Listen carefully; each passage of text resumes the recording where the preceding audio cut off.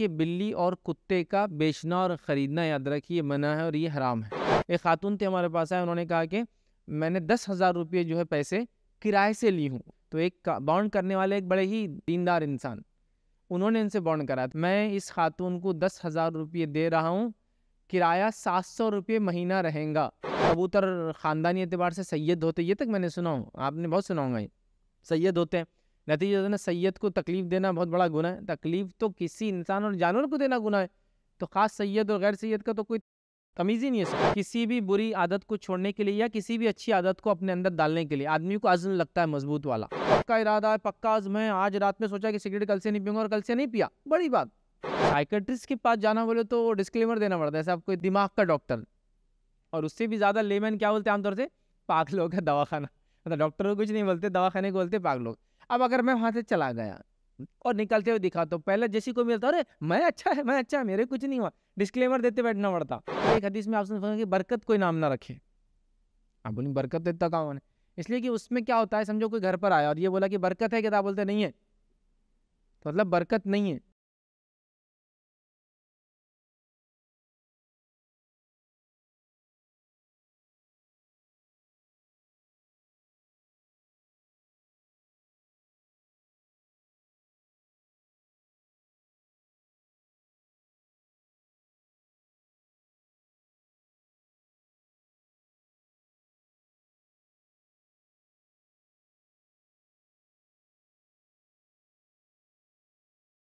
بسم اللہ الرحمن الرحیم۔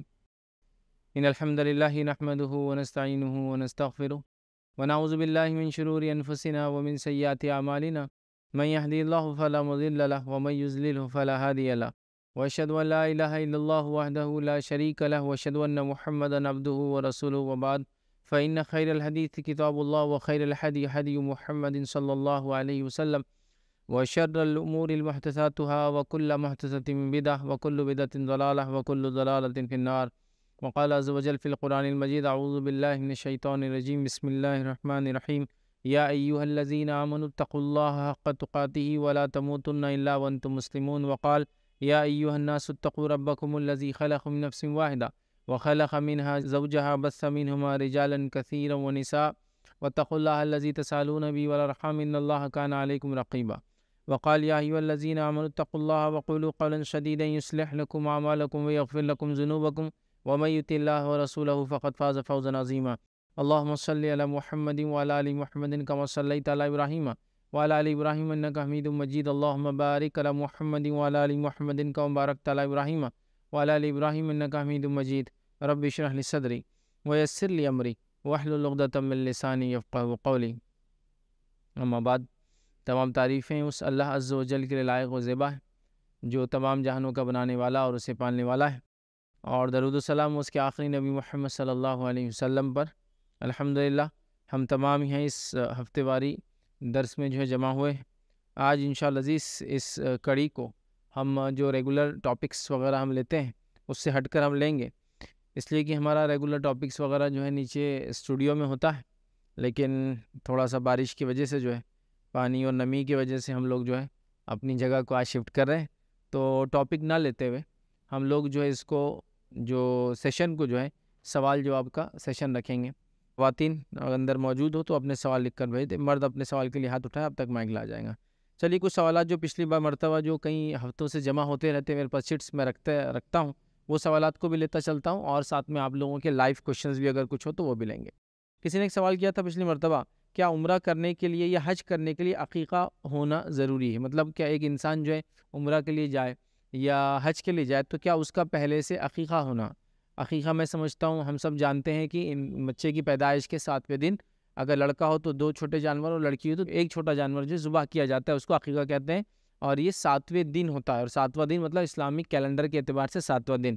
بہت سارے لوگوں کو یہاں بھی مسئلہ ہوتا ہے کہ عقیقہ جو ہے وہ ساتویں دن تو کرتے ہیں لیکن وہ اسلامی کیلنڈر کے حساب سے نہیں کرتے، یا تو کبھی چھٹے دن کر دیتے یا تو کبھی آٹھویں دن کرتے ہیں۔ تو ساتویں دن وہ جانور ذبح کیا تھا۔ سوال یہ ہے کہ عقیقہ جو ہے، اگر کسی کا نہ ہوا ہو تو کیا وہ حج عمرہ اس کا کرنا صحیح ہے؟ تو یاد رکھیے، عقیقہ کرنا، یاد رکھیے، یہ سنت موقع ہے۔ اکثر اہل علم کا اسی پر فتویٰ ہے، یہی ان کی رائے ہے۔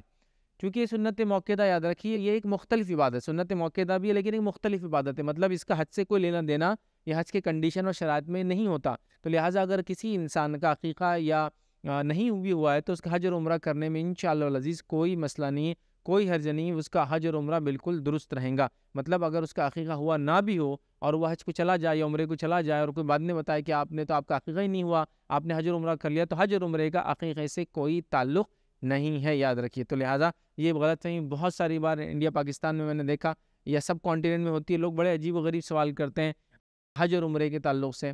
اور بہت ہی عجیب و غریب، جس میں سے ایک سوال یہ بھی رہتا کہ جس کا عقیقہ نہیں ہوا، یہ میں نے سنا ہے عام طور سے کہ اس کا حج اور عمرہ برابر نہیں ہوتا، تو لہٰذا عقیقہ ایک بالکل ہی الگ عبادت ہے، حج اور عمرہ ایک بالکل ہی الگ عبادت ہے۔ اور یہ دونوں کا ایک دوسرے سے کوئی لینا دینا بھی نہیں ہے، ایسے کچھ عبادتوں کا ایک دوسرے سے لینا دینا بھی ہوتا ہے۔ جیسے مثال کے طور پر اگر غسل ہوں گا تو پھر وضو ہوں گا تو پھر نماز ہوں گی۔ کسی کو غسل نہیں اور وضو کر لے تو نماز نہیں ہوں گی۔ سمجھ رہے آپ تو لہٰذا یہ اس سے لگی ہوئی عبادت ہے۔ مطلب یہ ایسی عبادت ہے کہ اس کے بعد وہ دوسری عبادت ہوں گی۔ لیکن حج اور عمرے کے لیے عقیقہ ایسا کوئی حصہ نہیں ہے کہ عقیقہ ہوا ہوا ہوں گا تو پھر حج ہوں گا، پھر عمرہ ہوں گا، ایسا کچھ بھی نہیں ہے۔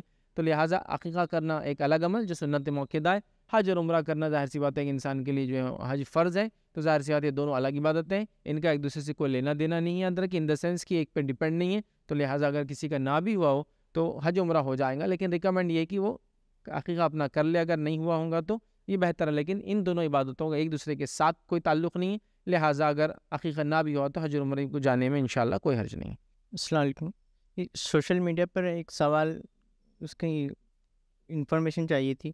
ایسا تھا ایک یہودی کا سوال تھا، جس کا یہ تھا کہ اللہ ہر پر قادر ہیں تو کیا وہ اسی جیسا کوئی اللہ بنا سکتا ہے؟ اور اس کا مفہوم یہ تھا کہ وہ تو مخلوق ہیں گا، خالق اس کا، اللہ گا۔ تو ایسے سوالوں کے بارے میں ایسا کوشچن کرنا چاہیے، نہیں کرنا چاہیے۔ کیونکہ اللہ کے ذات اللہ ہی بہتر جانتا۔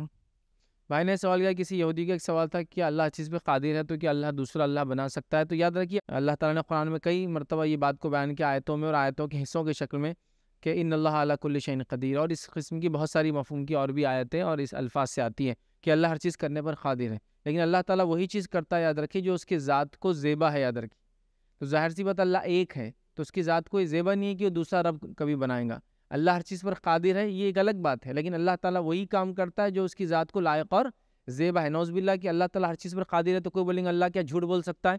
تو ہم کہیں گے اللہ تعالیٰ ہر چیز پر قادر ہے، لیکن اللہ تعالیٰ وہی کام کرتا ہے جو اس کی ذات کو لائق اور زیبا ہو، ہر کام کو نہیں کرتا، یاد رکھے تو لہٰذا یہاں بھی جو اس کا سوال ہے، کیا نوز باللہ اللہ تعالیٰ دوسرا اللہ بنا سکتا ہے؟ تو ہم کہیں گے اللہ تعالیٰ وہی کام کرتا ہے جو اس کے شان کو، اس کے ذات کو لائق اور زیبا ہو۔ جیسے کوئی کہ اللہ تعالیٰ کیا ظلم کر سکتا ہے کیا؟ تو ہم کہیں گے اللہ تعالیٰ ہر چیز کر سکتا ہے، لیکن وہی کام کرتا ہے جو اس کی ذات کو لائق اور زیبا ہو۔ اور رب کی ذات کو یہ لائق نہیں ہے، شان نہیں ہے اس کی کہ وہ کسی پر ظلم اور زیادتی کرے، یاد رکھے تو لہٰذا یہاں اس کا جواب یہ رہیں گا کہ اللہ تعالیٰ ہر چیز پر قادر ہے، لیکن اللہ تعالیٰ کبھی بھی یہ کام نہیں کرے گا جو اس کی ذات کو لائق اور زیبا نہیں ہے۔ تو اللہ تعالیٰ کیا نوز باللہ دوسرا اللہ بنا سکتا ہے؟ بالکل لیں گا، چونکہ اس کی ذات کو لائق اور یہ زیبا نہیں ہے کہ اس نے وہ خالق ہے اور اسے نہیں کائنات کو بنایا، وہ اپنے ساتھ کسی کو شریک نہیں ٹھہراتا یا اس کو پسند نہیں کرتا۔ اور ایسے سوالات یاد رکھیں جو اللہ کی ذات کے بارے میں ہو جس کے تعلق سے اسلاف کی، جیسا کہ صحابہ وغیرہ کوئی سوالات نہ ہوں یا اس زمانے میں لوگوں نے اگر اس پر کوشچنس نہ کی ہو تو بیٹر پارٹ یہ رہے گا کہ ویسے سوالات کو نہ ہم لے نہ اس کو انٹرٹین کرے واللہ عالم بول کے ان سوالات کو رفع دفع کر دے اور چھوڑ دیں۔ لیکن کبھی کبھار ایسا ہوتا ہے کہ مناظروں میں یا ایسا ہوتا ہے کہ دعوتی فیلڈ میں یہ ضرورت پڑ جاتی ہے ضرورت پڑنے پہ بہرحال آپ احسن طریقے سے ان کا جواب دے سکتے ہیں یا پھر سب سے اچھا جواب ہے، واللہ عالم اللہ ہی بہتر جانتا ہے۔ کسی نے ایک سوال کیا ہے کہ بلی کا بیچنا اور خریدنا کیسا ہے؟ تو دیکھیے، کسی نے سوال کیا کہ بلی کا بیچنا اور خریدنا کیسا ہے؟ تو یاد رکھیے، بلی اور کتے کا بیچنا اور خریدنا یاد رکھیے، منع ہے اور یہ حرام ہے۔ بلی اور کتوں کا بیچنا اور خریدنا یہ منع ہے، یاد رکھیے اور یہ حرام ہے اور اکثر اہل علم کے فتاوے اسی پر ہے یاد رکھیے کہ بلی اور کتوں کا بیچنا اور خریدنا، چونکہ آج کل بہت کامن ہے، لوگ پیٹس کی شکل میں جانور پالتے ہیں، بلیاں بھی بڑی مہنگی مہنگی آتی ہے اور کتے بھی بڑے مہنگے مہنگے آتے ہیں، لوگ خریدتے تو خریدا بھی نہیں جا سکتا، بیچا بھی نہیں جا سکتا۔ کچھ لوگ یہ سوال کرتے ہیں کہ ٹھیک ہے، ہم بیچ رہے نہیں نا مطلب ہم اس کی انکم نہیں کھا رہے، لیکن ہم خرید رہے ہیں مطلب خالی پرچیز کر رہے ہیں۔ تو یاد رکھیے، یہ درست نہیں، جیسا سود کا لینا اور دینا، دونوں آرام ہے تو کوئی کہے، میں لے تو نہیں رہا ہوں سود مطلب دے رہا ہوں صرف، جیسا کہ میں مجبور ہوں تو میں دے رہا ہوں۔ تو میرا ایک الگ چیز ہے، لیکن لینا اور دینا حدیث کے اندر واضح ہے کہ چار لوگ سود کے گناہ میں برابر ہیں۔ جو لے اور جو دے، جو گواہ بنے اور سود کا دینے والا، سود کا لینے والا، سود پہ گواہ بننے والا اور سود کا لکھنے والا۔ آپ نے کہا چاروں گنا میں برابر، تو لینا اور دینے کو برابر قرار دیا۔ تو کتے اور بلیوں کا خریدنا اور بیچنا جائز نہیں یاد رکھیں نبی اکرم صلی اللہ علیہ وسلم نے دو سے تین روایتیں اس قسم کی آتی ہے ایک روایت میں نبی اکرم صلی اللہ علیہ وسلم کتے اور بلیوں کے فروخت کے بارے میں جب سوال ہوا تو آپ نے اس سے منع فرمایا۔ آپ نے اس سے اس کی قیمت لینے سے مطلب خرید و فروخت سے اس کی قیمت لینے سے آپ نے منع فرمایا۔ تو ڈانٹنا، منع فرمانا، اس سے علماء لکھتے ہیں، اس کا خریدنا اور بیچنا دونوں ہی چیزیں حرام ہیں۔ اس مسئلے میں علماء کا صرف اختلاف ہے۔ اس مسئلے میں اختلاف ہے کہ وہ کتے، جو کتوں کو خاص طور سے ٹریننگ دی جاتی ہے ٹرین کیا جاتا ہے۔ ریوڑ کو سنبھالنے کے لیے جیسے اس زمانے میں ہوتا تھا۔ وہ بکریاں اور بھیڑیں ہوتی ہے۔ تو ظاہر سی بات ہے، آدمی کو رات میں جمع کرنا ہے تو آسان نہیں ہوتا، لیکن وہ کتوں کو پالتے ہیں۔ پھر وہ کتوں کے کیا فائدے ہوتے ہیں؟ ایک تو ریوڑ کو جمع کرتے ہیں، دوسرا فائدہ یہ ہوتا ہے کہ بھیڑیوں سے اور دوسرے شکاری جانوروں سے بھی آپ کا وہ ریوڑ بچ جاتا ہے۔ اس لیے کہ پھر کتوں کی وجہ سے وہ جانور ان کے قریب نہیں آتے تو ظاہر سی بات ہے، کتوں کو شکار کے لیے پالنا، کتوں کو حفاظت کے لیے پالنا، کتوں کو ریوڑ یا اپنی بھیڑ بکری کو سنبھالنے کے لیے پالنا یا کتوں کو آج کے دور میں سیفٹی اینڈ سیکورٹی کے لیے پالنا، جیسے کہ ایئرپورٹس پر ہوتے ہیں پرسنلی گھروں پر ہوتے ہیں۔ تو کیا یہ تو یہ تو درست ہے۔ شکار کے لیے بھی درست ہے یاد رکھیے کتوں کو استعمال کرنا۔ تو سوال یہ ہے کہ پھر جب ہم شکار کے لیے استعمال کریں گے سیکیورٹی کے لیے استعمال کریں گے سیفٹی کے لیے استعمال کریں گے ریوڑ کو، تو کوئی نہ کوئی ان کو ٹرین کریں گا پھر۔ مطلب یہ کتے عام نہیں ہوتے، یا تو آپ نے پالا ہو، یا تو آپ نے ٹرین ڈاگز لائے ہوں۔ تو یہاں یاد رکھیے، اس معاملے میں حنابلہ کا جو حملی علماء ہوتے ہیں، سعودی کے جو علماء ہوتے ہیں، ان کا تو بالکل فتویٰ یہ ہے کہ وہ اس کے لیے بھی حرام ہے۔ لیکن یہاں احناف کا، حنفی علماء کے جو فتح ہے وہ یہ ہے کہ شکار کے لیے اس کو اگر کوئی بناتا ہے، تیار کرتا ہے ریڈی کرتا ہے، ایسے پروفیشن کو تو ویسے اختیار نہیں کرنا چاہیے۔ لیکن اگر کسی کا ایسا انڈیا میں اگر ہم کامن لے لیں تو کوئی نان مسلم اگر یہ سب کرتا ہے تو اگر خرید لیا جائے ایسا کتا تو پھر وہ لکھتے ہیں یہ جائز ہے۔ آپ سمجھ رہے اس حد تک صرف۔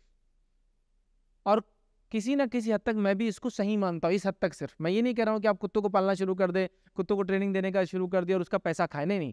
لیکن آپ کو اگر خریدنے کی ضرورت پڑتی ہے سیفٹی اینڈ سیکورٹی کے لیے، جانوروں کو سنبھالنے اور پالنے کے لیے وغیرہ وغیرہ، تو پھر آپ، چونکہ یہ آپ کی مجبوری ہے، اس کے علاوہ اور کوئی نہیں، کوئی آپ کا ٹرین ڈاگ تو فری دینے والا ہے نہیں آپ کو۔ تو لہٰذا اگر آپ وہاں خرید لیتے ہیں تو آپ یہاں چونکہ مجبور ہیں، یہاں تک ان شاء اللہ یہ درست رہیں گا۔ اور اکثر انفی علماء کا فتویٰ اسی پر ہے اور میں بھی اس کو کچھ حد تک صحیح مانتا ہوں۔ اس لیے کہ کچھ لوگوں نے یہ کہا کہ کتا ایسی جگہ جو ہے تحفے میں دینا چاہیے۔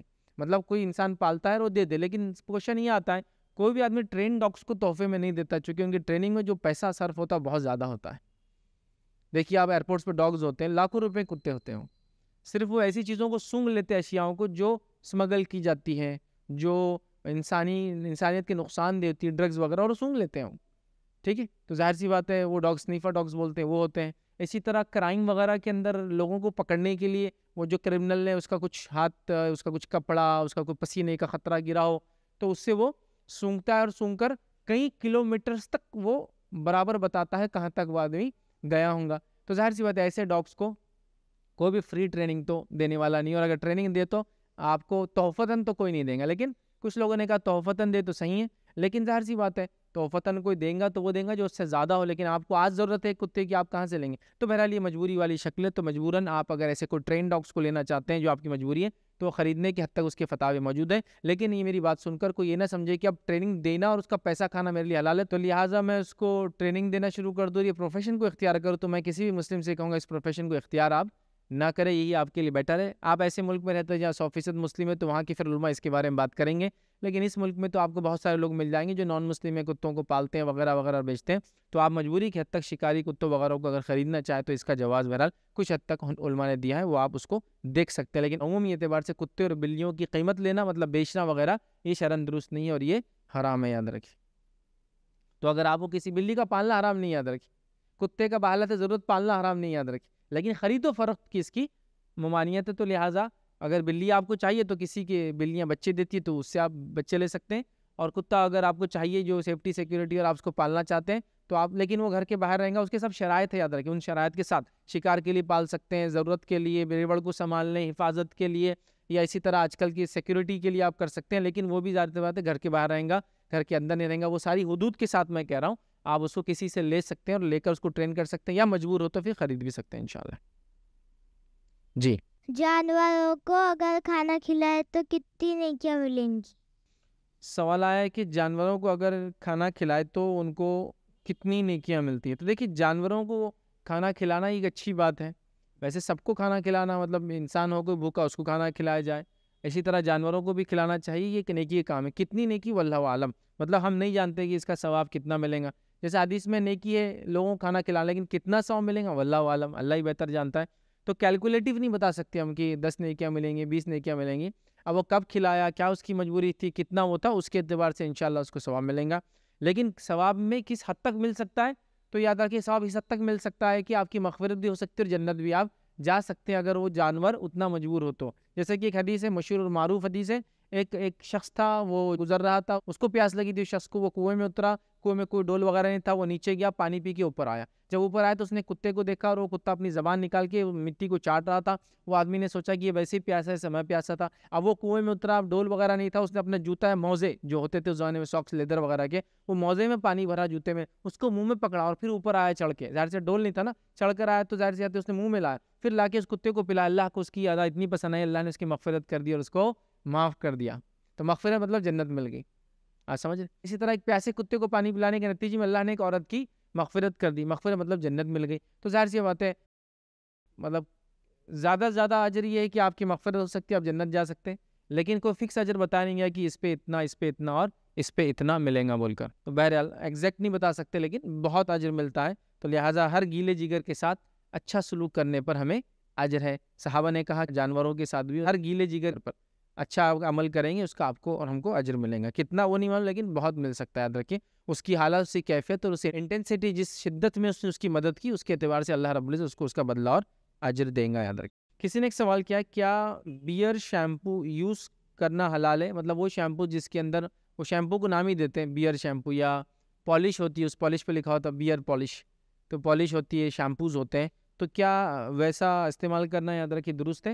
تو دیکھیے بیئر شیمپوز ہو گئے، بیئر پالش ہو گئے اور ایسی چیزیں جس میں الکوہل، بیئر مطلب الکوہل کی ایک قسم یاد رکھیے، جو الگ الگ پرسنٹیج کے حساب سے الکوہل کے شراب کے نام تبدیل ہوتے ہیں۔ تو سب سے کم درجے شراب جس میں ہوتی ہے جو کہ فور ٹو فائیو پرسنٹ ہوتا ہے اور باقی واٹری کنٹینٹ ہوتا ہے فروٹ جوسز ہوتے ہیں کبھی اس کے اندر، اس کو بیئر بولتے ہیں، یاد رکھیے۔ اور اس سے اوپر جائیں گا تو اس کے الگ الگ آپ نے بیئر، رم، برانڈی وغیرہ سنے ہوں گے۔ یہ پرسنٹیج آف الکوہل کے اعتبار سے لوگوں نے اس کے نام رکھے، یاد رکھے۔ سب سے زیادہ جو چیزوں میں ہوتا ہے، وہ چالیس فیصد تک الکوہل ہوتا ہے، لیکن پیور پورا الکوہل کوئی بھی نہیں پیتا ہے۔ اس کا واٹری کنٹینٹ مطلب اس کے اندر کچھ نہ کچھ پانی یا لکوڈ دوسرا ہوتا ہی ہمیشہ یاد رکھیے۔ تو لہٰذا جو سب سے ہارڈ بھی پئیں گا تو تیس سے چالیس فیصد ہوتا ہے، اس سے اوپر نہیں پی سکتا ہے کوئی، یاد رکھیے، اس کو ڈائریکٹ ورنہ پیتے انسان کو خے ہو جاتی ہے اس سے۔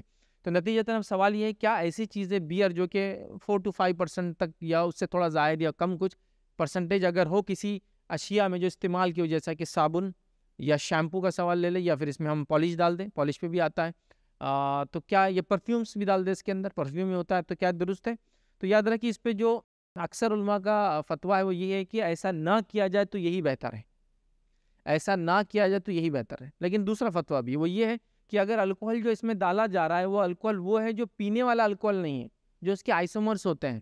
جیسا کہ آپ دیکھیں گے پرفیومس وغیرہ پہ ایک تو وہ آتا ہے، اس پہ لکھا ہوتا ہے نان الکوہلک پرفیوم مطلب جس کو ہم عطر بولتے ہیں عام زبان میں۔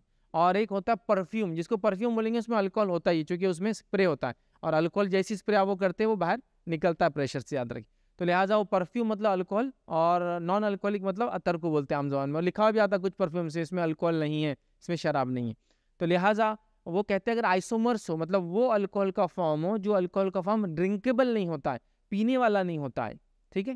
اور جب وہ کسی چیز سے ملا دیا جاتا ہے انسپریبل ہو جاتا ہے، اندر ڈالنے کے بعد اس کو الگ نہیں کیا سکتا کہ کوئی اس کو لے کے جائے، پھر الگ کر کے پینا شروع کرے سمجھا؟ انسپریبل ہوتا ہے، پینے والا نہیں ہوتا جس کو آئسومرز بولتے ہیں۔ مطلب ایک تو الکوہل ہوتا ہے جو ریئل الکوہل ہوتا ہے، اور ایک الکوہل ہوتا ہے جو کیمیکل فارم ہوتا ہے۔ جیسے ہر چیز کا آج کل کیمیکل فارم آ گیا۔ جیسے ایک شوگر ہوتی ہے جو ہم کہتے ہیں شکر، لیکن اس کا کیمیکل فارم بھی آتا ہے۔ اس کو شاکرین بولتے ہیں۔ مطلب شاکرین کی کلفی ہے، یہ شکر کی کلفی ہے۔ تو شاکرین، آپ معلوم اس کا کہ مطلب شکر کا کیمیکل فارم سے کیمیکلی بنائی ہوئی شکر، وہ شاکرین ہے۔ سمجھ رہے بات کو؟ تو لہٰذا وہ ایسا کیمیکل فارم ہوتا ہے، اس کو آئسومر بولتا ہے آئسو ایتھل آئسو متھل آئسو پروپل آپ ڈبیوں پہ پرفیومس میں لکھا ہوا آتا ہے۔ تو وہاں کچھ علماء نے ایجاد دی جبکہ وہ اس کا کیمیکل فارم ہے نان ڈرکیبل فارم ہے اور نان سپریبل ہوتا ہے اندر ڈالے بعد۔ تو ایسی چیز میں وہ کہتے پھر استعمال کی اجازت۔ تو لہٰذا بیٹر تو یہ ہے کہ بیئر والے شیمپو بیئر والی صابن بیئر والی پالشز اور الکوہل جس کو بولیں گے الکوہل بیئر وہ چونکہ کامنلی بولا جاتا ہے، ورنہ الکوہل والی شیمپو الکوہل والی پالش الکوہل والے پرفیومس اس کو اوائڈ کرنا بیٹر ہے۔ بٹ اگر کوئی کہ نہیں، اگر ایسا ہو تو ایسے فتح موجود ہے کہ اگر وہ انسپریبل ہو، اس کا کیمیکل فارم میں ہو اور ظاہر سی بات ہے، وہ پینے والا اگر نہ ہو تو پھر کچھ شرائط کے ساتھ وہ کہتے ہیں ایسا درست ہے۔ اور اسی پہ میں نے کچھ پہلے بھی لیکچرس میں بتایا تھا کہ پرفیومس والے الکوہل پرفیومس والے یا پرفیوم جس میں الکوہل ہو اس کو آپ اسپرے کر سکتے ہیں اور وہی ریزن تھا کہ اس کے اندر وہ اس کا کیمیکل فارم ہوتا ہے ڈرنکیبل فارم نہیں ہوتا اور وہ بعد میں سپریٹ بھی نہیں ہوتا، الگ نہیں ہوتا کہ کوئی اس کو الگ سے کر کے پی لے تو بہرحال پھر یہ مجبوری اسی طرح یہی چیز ہوتی ہے، دواؤں کے اندر بھی کبھی ہم مجبور ہو جاتے ہیں۔ دوا میں تو بہرحال یہ مجبوری والی کیفیت ہے۔ اور یہاں تو چوائس ہوتی ہے تو اوائڈ کرنا۔ بہرحال میں سجیسٹ تو کروں گا اوائڈ کیجیے، یہی انشاءاللہ بہتر اور اچھا ہے۔ السلام علیکم۔ یہ مارکیٹ میں بہت ساری اسکیم آتی ہے کہ آپ ہمیں ایک دو لاکھ روپے دیجیے، تو ہم آپ کو اس کے ڈیلی کے پیسے دیں گے۔ مطلب ان کے پاس نالج ہے مطلب اپن ان کو پیسہ لگانے کو دیتے ہیں۔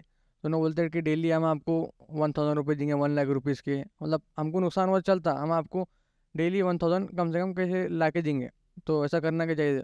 بھائی نے سوال کیا کہ کوئی شخص ہے جو اس کے پاس علم ہے تجارت کا بزنس کا، وہ آپ کو بولتا ہے ایک لاکھ روپے دیجیے اور میں آپ کو ایک ہزار روپے روز دوں گا یا مہینے میں چار ہزار، پانچ ہزار دوں گا یا دس ہزار دوں گا یا ایکس وائی زیڈ جو بھی بہرحال ہوتا ہے ہوتا ہے۔ اب اس کو نقصان ہو یا فائدہ؟ ہو وہ سامنے والے کو جیسے ایک لاکھ دیا، اس کو وہ اتنا جو طے ہوا تین سو، چار سو، ہزار، دو ہزار جو بھی وہ دیتا ہے۔ تو کیا یہ درست ہے؟ تو یاد رکھیے یہ سود ہے، یہ بالکل درست نہیں۔ وہ سامنے والے کو فیلڈ کا نالج ہے بزنس کا نالج ہے، وہ بزنس کا پیسہ لیتا ہے تو پرسنٹیج طے کرے گی کتنے پرسنٹیج میں دونوں کی پارٹنرشپ چلیں گی۔ لیکن یہ پارٹنرشپ طے نہیں ہو رہی فکس اماؤنٹ طے ہو جا رہی ہے کہ بھائی اتنا ہوں گا تو مجھے اتنا آپ دینا اب چاہے میرا بزنس ہو یا مت ہو، میں ڈوبوں یا میں ہوں، آپ کو تو انشاءاللہ روز کے روز دے دوں گا۔ اس کو بہت سارے لوگ عام زبان میں کیا بولتے ہیں آپ کو؟ پیسے کا کرایہ۔ سود آرام ہے نا اسلام میں؟ تو بولے پیسے کا کرایہ، جیسے میں مثال دیتا ہوں۔ ایک خاتون تھے ہمارے پاس آئے، انہوں نے کہا کہ میں نے دس ہزار روپئے جو ہے پیسے کرائے سے لی ہوں۔ پہلی بار سنا تھا میں نے، دس ہزار روپئے کرائے سے لی ہوں۔ اور وہ کرایہ دیتے تھے، پریشان ہوں۔ جب ہم نے اسے بانڈ لیا وہ، تو ایک بانڈ کرنے والے ایک بڑے ہی جس کو کہیں گے، دھارمک انسان، دیندار انسان۔ انہوں نے ان سے بانڈ کرایا۔ تو کیا بانڈ کرایا معلوم؟ میں اس خاتون کو دس ہزار روپئے دے رہا ہوں۔ کرایہ سات سو روپئے مہینہ رہیں گا۔ بانڈ بھی تھا اس کا۔ مطلب سات سو روپئے کرائے پر دس ہزار روپئے اس نے دیے۔ دیکھیے، پیسہ کرائے پر نہیں جاتا ہے۔ آپ چیز کرائے پر دے سکتے ہیں گھر کرائے پر، گاڑی کرائے پر، استعمال کی اشیاء کرائے، موبائل کرائے پر، ایک اسپیکر کرائے پر اسکرین کرائے پر، کپڑے کرائے پر ہو سکتے ہیں، ہال کرائے پر ہو سکتا ہے، لیکن پیسے کرائے پر نہیں ہوتے۔ تو بہرحال پیسے کرائے پر انہوں نے لکھے تھے۔ تو پیسے کا کرایہ نہیں ہوتا، تو کبھی کبھار وہ ایسا بھی کرتے، ایک لاکھ روپے دے دو، ایک ہزار روپے کرائے سے، چار ہزار روپے مہینہ کرائے سے، دس ہزار روپے مہینہ کرائے سے۔ نہیں، پیسے کرائے پر نہیں ہو سکتے ہیں۔ جب آپ پارٹنرشپ کر رہے ہیں کسی بزنس میں تو پرسنٹیج طے کر لیجیے کتنی فیصد میں آپ پارٹنر ہوں گے اور اتنی فیصد میں آپ لاس بھی ظاہر سی باتیں برداشت کریں گے۔ تو اگر کوئی آدمی ایک لاکھ روپے آپ سے لے کے بولتا ہے، میں دو سو، تین سو، چار سو، پانچ سو، ہزار روپے ڈیلی آپ کو اگر دیتا ہوں اور میرا نقصان و فائدہ آپ لو، تو یہ درست نہیں یہ سود میں آئیں گا اور میں خود ذاتی طور سے بھی جانتا ہوں، کوئی بھی بزنس میں ایک سو روپے پہ تیس فیصد منافع نہیں آتا ہے۔ کہ ایک لاکھ روپے دو اور ہر روز ایک ہزار لو مطلب تیس ہزار روپے مہینہ ہو گیا نا۔ ایسی انکم تو کہیں بھی نہیں ہوتی ہے، آپ سمجھ رہے ہیں؟ مطلب اگر یہ انکم مان لے تو دو لاکھ پہ کتنی ہوگی اس کی؟ ساٹھ ہزار۔ تین لاکھ پہ نوے ہزار۔ تو لکھوں پتی، کروڑ پتی تو وہ یہیں دس لاکھ روپیہ اگر ادھار دے دے تو تین لاکھ روپے تو اس کو کرایہ آ رہا ہے اس کا۔ تو بہرحال یہ سب سود ہے، سود کی قسمیں ہیں۔ لوگ اس کو الگ الگ نام دے کے کرتے لیکن بالکل درست و جائز نہیں یاد رکھی۔ بہت سارے لوگ جانور پالتے ہیں اور ان سے ہے نا ذریعہ مطلب ان کا مطلب گھوڑے ہے بھینسا ہے، کبوتر ہے مطلب ان کی ہے نا بازیں لگاتے ہیں، اس میں مطلب ان کو ٹرین کرتے ہیں اور اس سے ان کا انکم چلتا۔ ویسا کرنا کیا چاہیے؟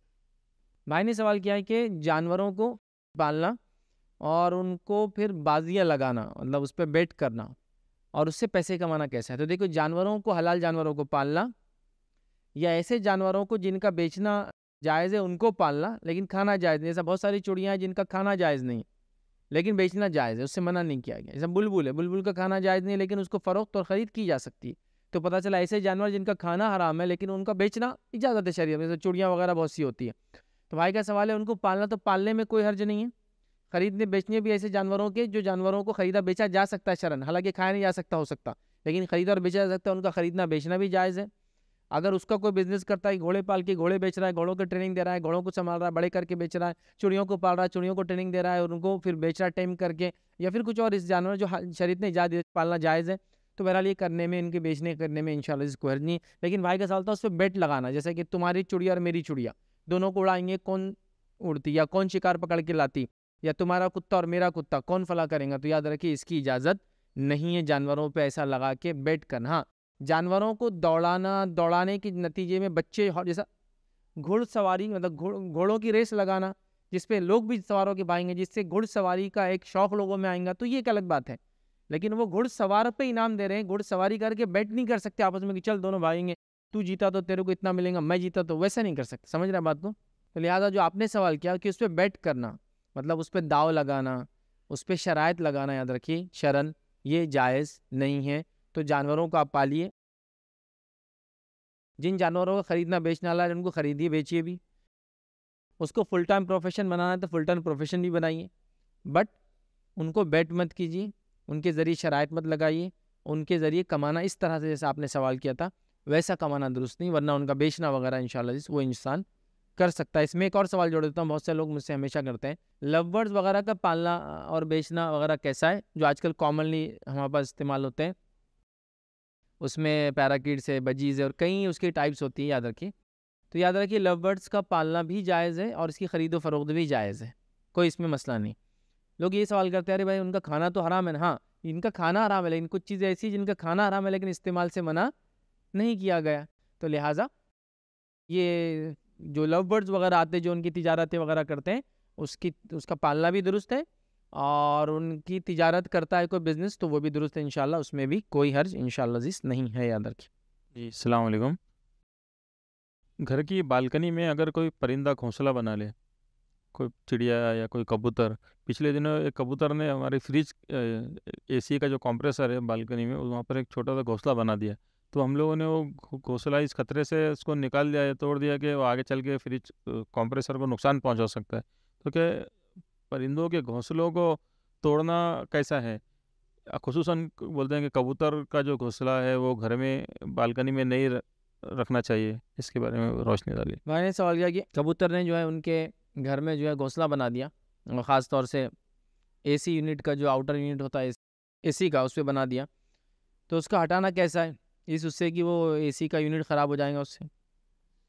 دیکھیے، اگر کوئی جانور آپ کے پاس جیسا چڑیا وغیرہ گھونسلہ بنا رہی ہے اور آپ کو ایسا یقین ہے کہ جس جگہ بنا رہی ہے، وہ جگہ اس کے لیے یا ہمارے لیے خراب ہے؟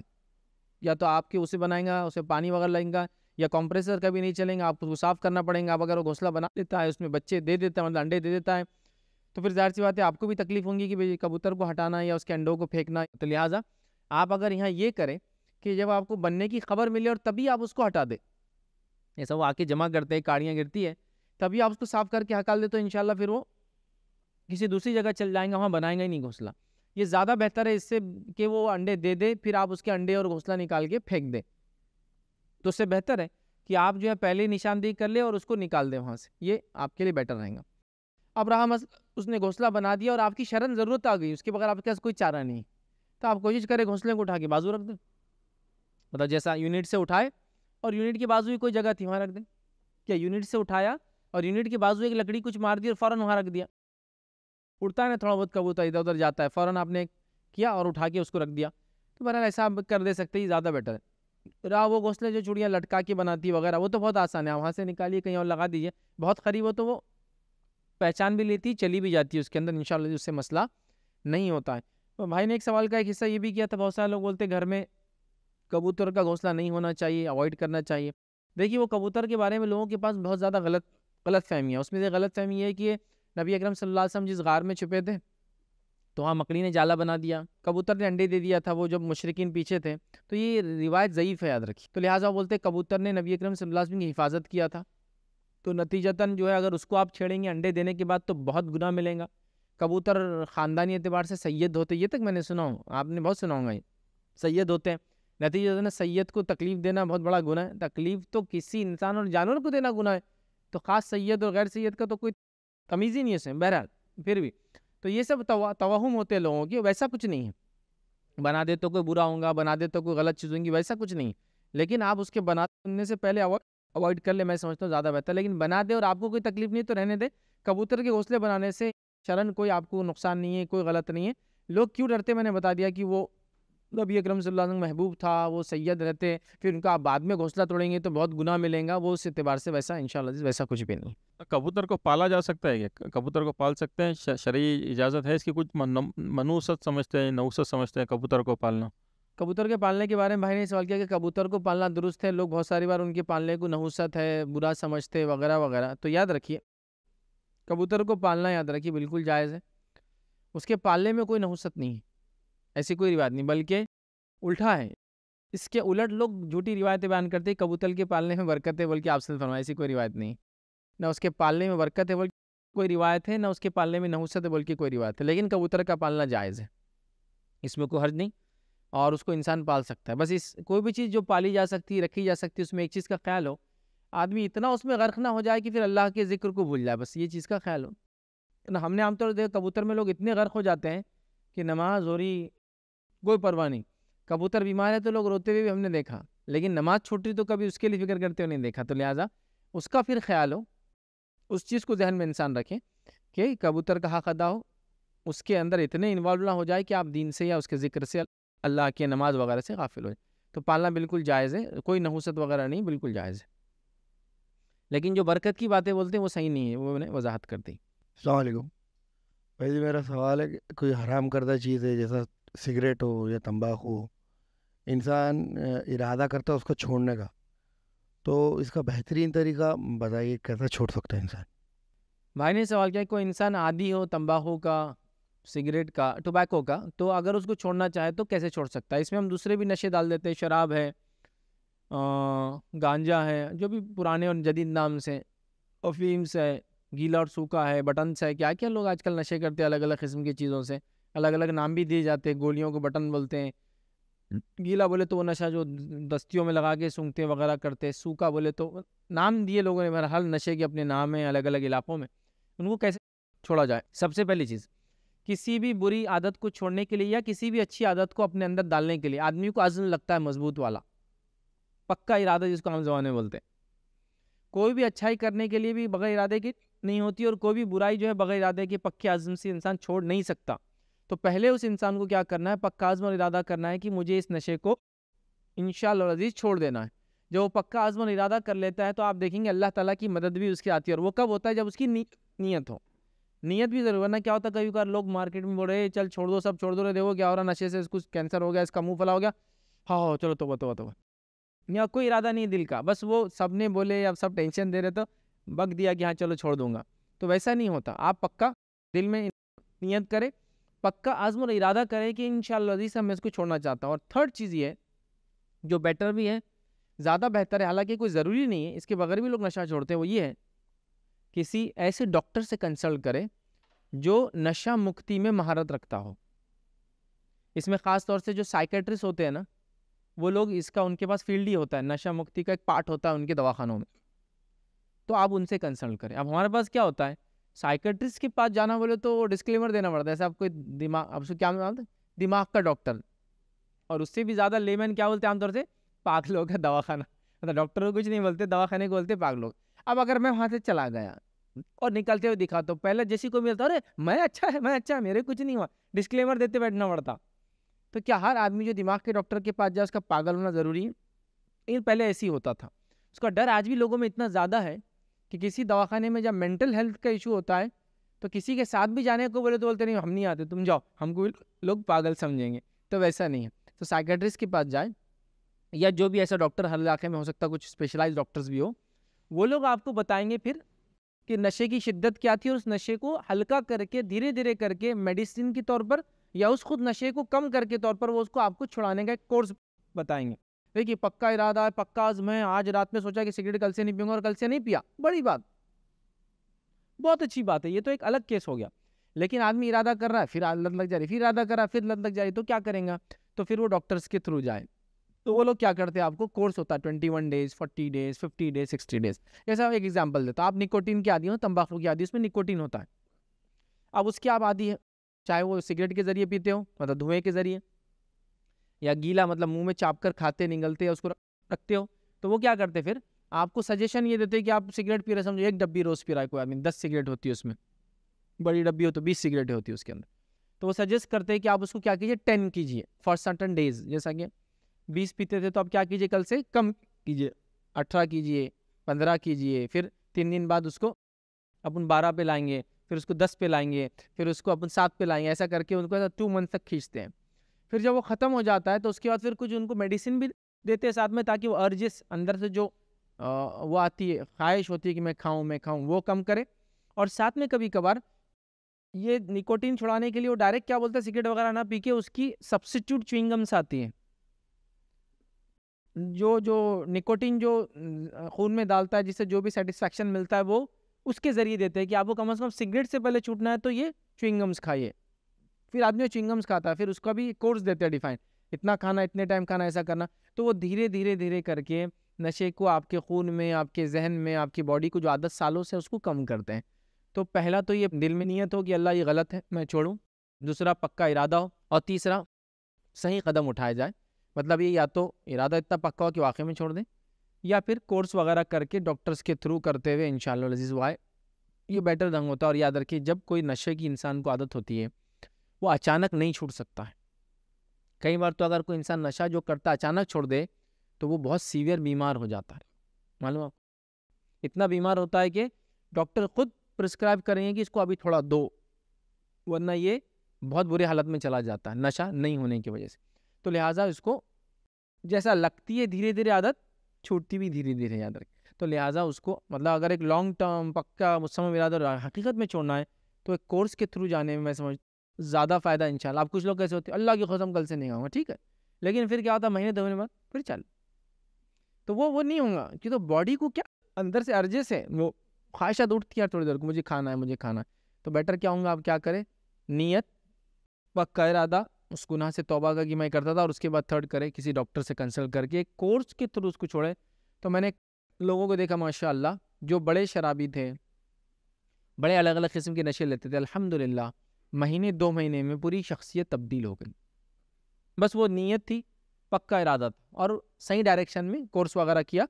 الحمد للہ کے فضل سے ایک اچھی انسان والی زندگی گزار رہے ہیں۔ آپ بولتے ہیں کہ جب نشے کی عادت تھی، جب تو کسی کو معلوم بھی نہیں ہے چھپ کے پیتے وغیرہ تھے۔ بولتے ہیں، لیکن اللہ نے چھڑوا دیا۔ تو ایک بڑی بات ہے۔ کسی نے ایک سوال کیا کہ مکڑی یا مکڑے کو مارنا کیسا ہے؟ مطلب گھروں میں مکڑی جالے بنا بنا کر رکھتے ہیں۔ صاف صفائی کرنے کے بعد بھی واپس واپس سے جالے بنانے لگتے ہیں۔ تو کیا انہیں مارا جا سکتا ہے؟ تو دیکھیے مکڑیوں کو مارا جا سکتا ہے۔ اسے مکڑا کامنلی نہیں بولا جاتا ہے چونکہ اس کا جینڈر پہچانا بھی نہیں جاتا ہے۔ لیکن اس کو مکڑی بولتے ہیں۔ تو مکڑی کو مارنے میں کوئی حرج نہیں ہے۔ جیسا کہ میں نے بتایا، لوگ اس واقعے کی وجہ سے بولتے ہیں کہ کبوتر اور مکڑی، کبوتر نے جالا مطلب انڈے دیا تھا اور مکڑی نے جالا بنا دی تھی اس غار میں۔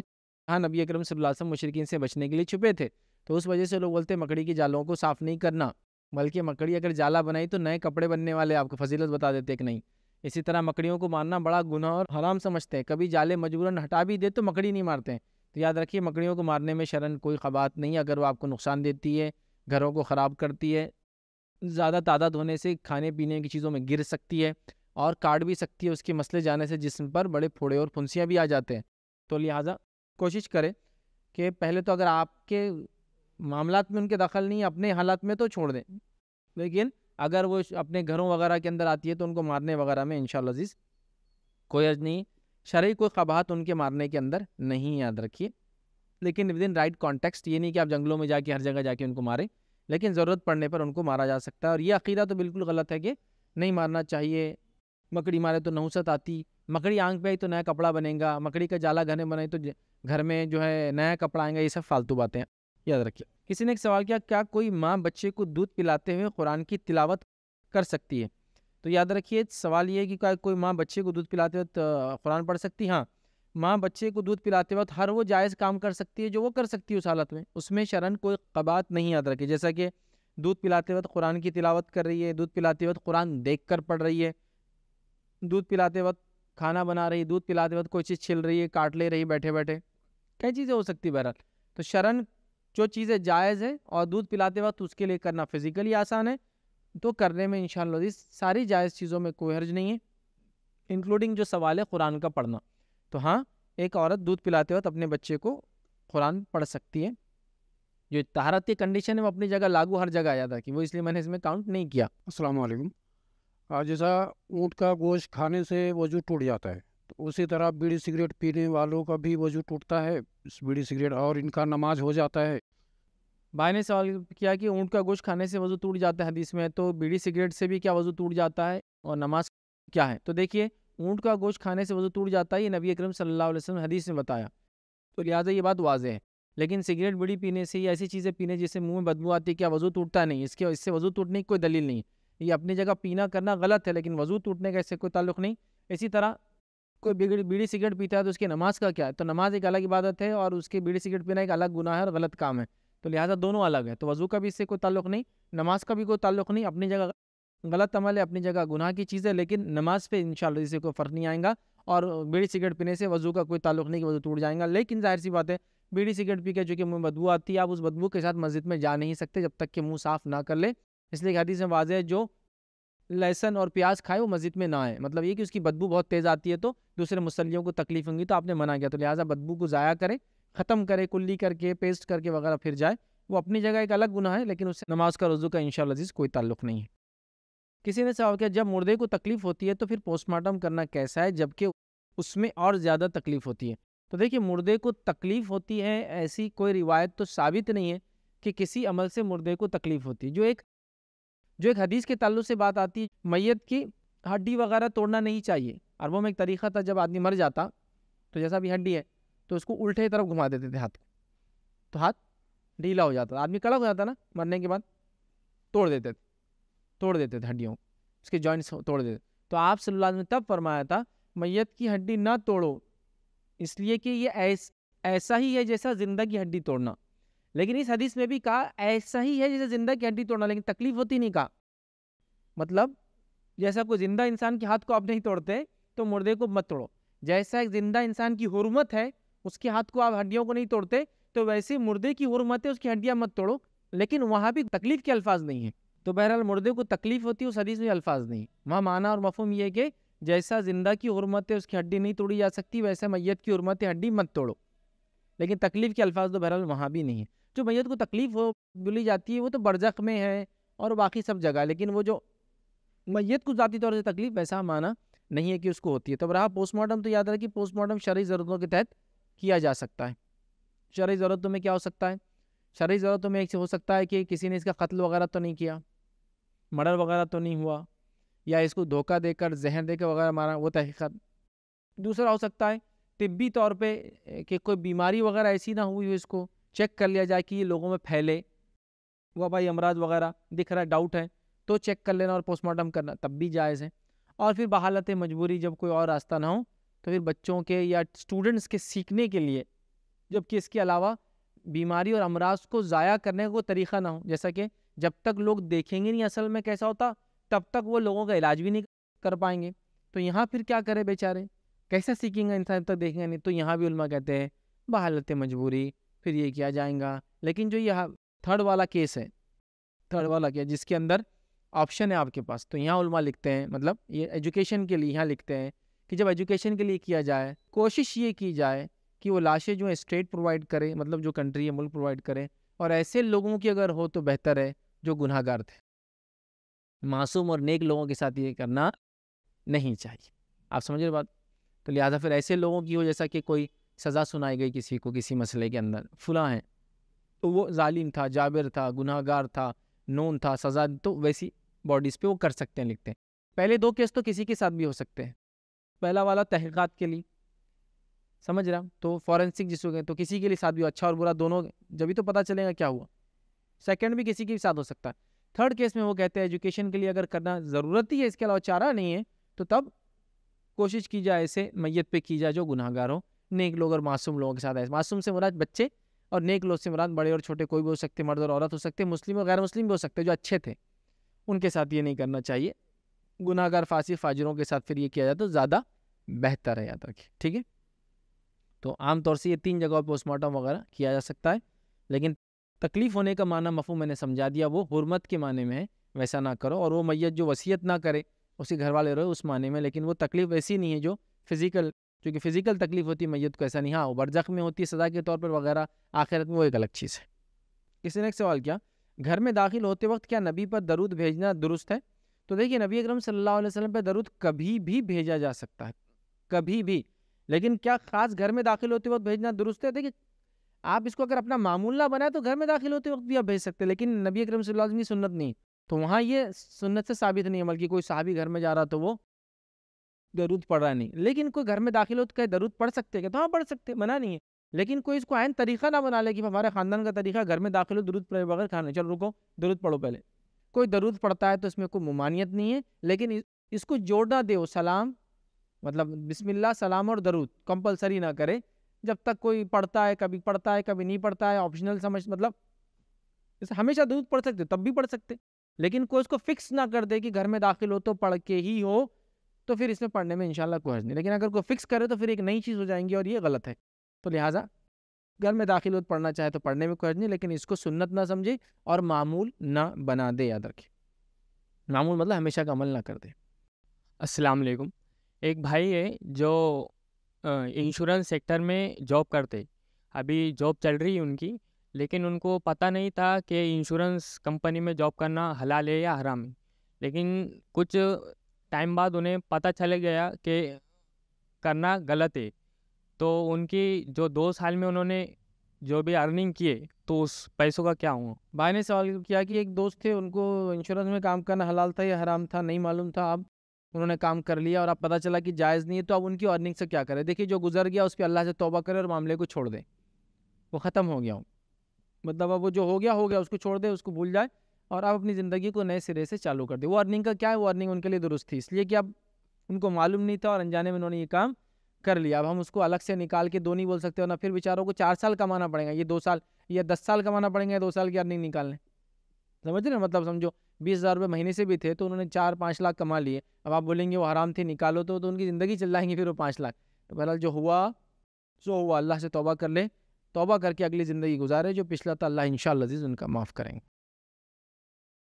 کسی نے سوال کیا اپنے ٹیلنٹ سے پیسہ کمانا کیسا ہے؟ جیسے کہ قرآن سکھانا۔ مطلب کسی میں ٹیلنٹ ہے، اس کو قرآن آتا ہے تو وہ قرآن سکھا رہا ہے۔ تو یاد رکھیے، قرآن سکھانے کو اگر آپ کو اللہ نے الٹرنیٹ پروفیشن دیا ہے تو کبھی بھی اپنا مین پروفیشن نہ بنائے۔ قرآن سکھا کے پیسے ارن کرنے کو بول رہا ہوں میں۔ مین پروفیشن نہ بنائے۔ جیسے کہ اگر میں ایک مالدار انسان ہوں اور میرے کو قرآن بھی آتا ہے تو میں قرآن فری سکھاؤں گا۔ کیونکہ میرے پاس الٹرنیٹ پروفیشن ہے کمانے کا۔ تو لہٰذا یہاں مجھے ضرورت نہیں ہے۔ قرآن کے ذریعے پیسہ کمانے کی، حالانکہ میرا ٹیلنٹ ہے، میں خاری ہوں، میں فلاں فلاں یہاں میں نہیں کروں گا۔ لیکن اگر کوئی ایسا آدمی ہے جس نے اسی فیلڈ میں اپنی زندگی ڈالی، جیسے اکثر علماء، حفاظ اور یہ لوگ ہوتے ہیں جو مدارس جاتے ہیں، تو وہ مجبور ہوتے ہیں، تو پھر اگر ایسا ہے تو ان شاء اللہ عزیز جائز ہے اس میں کوئی حرج نہیں ہے۔ کوئی حرج نہیں۔ حالانکہ ہم دیکھتے ہیں کہ سب سے سخت فتوے قرآن سکھانے کی، انکم حرام ہے بول کر سب سے سخت فتوے جن علماء نے دیے وہ حنفی علماء ہیں۔ اتنے سخت فتوے کسی کو انتہا نہیں کہ اتنا حرام انہوں نے قرار دیا قرآن پڑھ کر کمانے کو۔ امام ابو حنیفہ نے بھی اور حنفی علماء نے بھی۔ لیکن آپ بہت تعجب کی بات ہے، ایسا کوئی حنفی عالم نہیں جو میں نے دیکھا جو قرآن پڑھانے کے پیسے نہیں لیتا ہو۔ تو اس لیے میں کبھی کبھار کہتا ہوں، لوگ اپنے مسلک کو، اپنے چوائس کے حساب سے اختیار کرتے ہیں کہ جہاں اچھی بات لگ اپنے کو جمرہ اپنا تو لے لو، جہاں نہیں جمرہ تو اتنی بات کو چھوڑ دو۔ تو امام ابو حنیفہ کے نزدیک مؤذن اور امام کی تنخواہ حرام ہے۔ لیکن آج سب سے زیادہ حنفی لوگ ہی دنیا میں پائے جاتے ہیں، حنفی مساجد پائی جاتی ہے اور لوگ لے رہے ہیں۔ تو لوگ اپنے مسلک کو بھی اپنے لحاظ سے ڈھالتے ہیں یاد رکھ جو جو پسند آتا لیتے تو بہرحال ویسا نہیں، اصل مسئلہ یہی ہے، جو مالدار ہے اس کا کام ہے کہ قرآن کے لیے اجرت نہ لے لیکن جس آدمی نے اسی فیلڈ میں اپنے آپ کو ڈیولپ کیا، کوئی دوسرا راستہ نہیں ہے، تو بہرحال وہ اس ذریعے تنخواہیں وغیرہ لے سکتا ہے۔ اگر ہم کہہ دیں یہ حرام ہے، تو پھر اس کی زندگی کیسے گزریں گی؟ حالانکہ کچھ روایتیں ہیں، لیکن وہ روایتوں کو بھی آپ کو کانٹیکس میں سمجھنا پڑیں گے۔ تو اسی سے میں نے کہا کہ اگر آپ کو الٹرنیٹ پروفیشن ہے، تم کما سکتے ہو تو دوسرے فیلڈ کماؤ، قرآن فری سکھاؤ۔ یہی ہونا چاہیے، یہی پریفریبل ہے۔ لیکن اگر اسی فیلڈ میں آپ ڈیولپ ہوئے، دوسرا آپ کو کچھ آتا نہیں ہے اور یہی آپ کا ایک فن ہے۔ اس میں آپ ڈیولپ ہوئے اور آپ یہ سکھانا چاہتے ہیں تو آپ سکھا کے لے سکتے ہیں۔ لیکن اس کو کوئی پروفیشن بنانے کے وہ نہ کرے، لیکن اب جو مجبور ہے اس کا کوئی راستہ نہیں ہے۔ ان شاء اللہ عزیز قرآن پڑھا کے لے سکتا ہے، چونکہ ایک دوسری روایت ہے، جس میں آپ صلی اللہ نے فرمایا تم جن چیزوں پہ اجرت لیتے ہو اس میں سب سے زیادہ مستحق قرآن ہے تو بہرحال ان چیزوں کو کانٹیکس میں سمجھنے کی ہم کو ضرورت ہے۔ السلام علیکم سر میرا یہ سوال ہے کہ اپن سب نکاح کر رہے ہیں سامنے والے کا۔ تو سامنے والے کے جو لڑکی جو ماں باپ ہے تو وہ سمجھو درگاہ پہ جاتے ہیں ہر چیز کرتے ہیں ان کے ساتھ اوپن ہے پورا۔ تو اپن نے کیا کرنا چاہیے؟ آگے بات بڑھانا چاہیے کہ نہیں نہیں کرنا چاہیے۔ بھائی نے سوال کیا کسی گھر میں وہ رشتہ بھیج رہے ہیں اور وہ لڑکی والے جو ہے ایک دم کھلے طور سے خبر خبروں پر جاتے ہیں، زیارتیں کرتے ہیں اور عام زمانے بولتے ہیں، درگاہوں پہ جانے والے لوگ یا جو بھی وہ ہے تو ایسا کرتے تو کیا رشتہ آگے بھیجنا چاہیے یا رک جانا چاہیے؟ تو میں یہی کہوں گا، آپ بالکل رک جا، آگے بڑھے ہی نا یہ سوچ کر کے باہر سے تو پھل خراب دکھ رہا، لیکن انشاءاللہ اندر سے اچھا ہوں گا۔ یہ حسن زن ٹھیک نہیں مطلب یہ اچھا گمان رکھنا ٹھیک نہیں ہے۔ اس لیے کہ اس اصل چیز عقیدہ ہوتا ہے۔ اب ظاہر سی جب آپ شادی کریں کسی ایسی لڑکی سے کہ آپ ایک عقیدے کے حامل ہے جو اللہ کے علاوہ کسی کو شریک نہیں ٹھہراتے اور بار بار خبروں پہ جانے سے اللہ کے رسول نے عورتوں کو منع کیا، خبروں کی زیارت کو مسلسل کرنا، بار بار دوڑ کر، پلٹ پلٹ کے آنا منع کیا۔ حتیٰ کہ اللہ کے رسول صلی اللہ علیہ وسلم نے فرمایا، میری خبر کو عید نہ بنانا، عید مطلب بار بار لوٹ کر آنے والی چیز۔ اس اس کو عید بولتے ہیں امام نے سمجھ رہا بات؟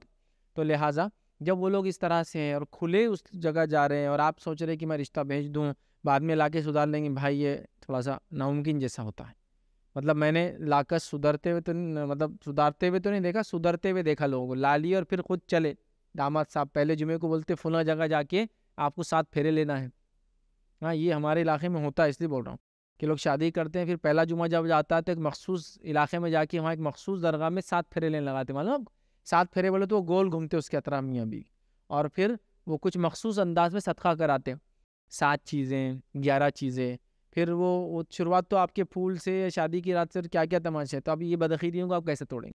ہاں آپ جب بولیں گے کہ بھائی ہم لوگ تو قرآن و سنت کے ماننے والے ہیں، قرآن حدیث کے ماننے والے ہیں، جو اس چیز ثابت عمل کرتے ہیں، اب شادیاں جلدی نہیں ہوتی تو وہ بول تو دیں گے ہاں آپ جو بولے بس وہی داماد صاحب، بس آپ بس شادی کر لو بچی سے۔ اب پھر اس کے بعد آپ دیکھیں گے وہ شادی کی رات کے تماشے شروع ہو جائیں گے، چونکہ ظاہر سی بات آپ بھی کمپرومائز میں آ گئے نا شادی ہونے کے بعد کیا آپ اس رات چھوڑ دیں گے؟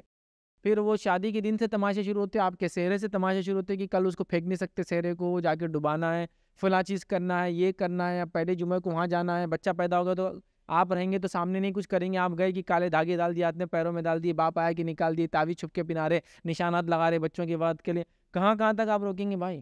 ہاں لیکن اگر آپ کو یہ طے ہو کہ بچی قرآن و سنت پر ہے گھر والے لیکن ایسے ہیں اور آپ قرآن و سنت پہ ہیں، رشتہ بھیجیں گے تو وہ بھی ماشاء اللہ قرآن و سنت معلوم ہوتا ہے نا جیسا بہت ساری جگہ والدین الگ جماعت سے، بچے الگ جماعت سے معلوم ہے۔ تو اگر ویسا ہے تو پھر تو انشاءاللہ مسئلہ نہیں، لیکن اگر عقیدہ بچی کا بھی وہی ہے جو ماں باپ کا ہے خبروں پہ جانا، زیارت کرنا خبر پرستی والا ان سے مانگنا، ان سے وسیلے، تو پھر میں کہوں گا بالکل بھی آپ آگے ہی نہ بڑھے آپ اگر یہ بولیں گے کہ ہم تو ایسے آپ اپنی بچی کو بدل دو تو بولیں گے ہاں بالکل، آپ بولے تو کل سے جو آپ کی جماعتیں میں کر دیتا۔ لیکن آپ دیکھیں گے، شادی ایک بار ہو گئی تو آپ کمپرومائز میں آ گئے نا، اب تو ہو گیا، اب تھوڑی آپ کل چھوڑ سکتے اس کو۔ تو پھر وہ شروع کر دیتے اپنے، نہیں، ہم تو ایسا ہے، اب تو جانا پڑیں گا داما صاحب، ایک بار تو آنا پڑیں گا آپ کو، ہم تو سجاد فلاں کی، ہم تو یہ۔ تو پھر اوائڈ کریں۔ اگر بچی ماشاء اللہ قرآن و سنت پہ تو پھر ایک الگ بات۔ کسی نے سوال کیا کہ کیا ہم بچوں کے نام فرشتوں کے نام پر رکھ سکتے ہیں؟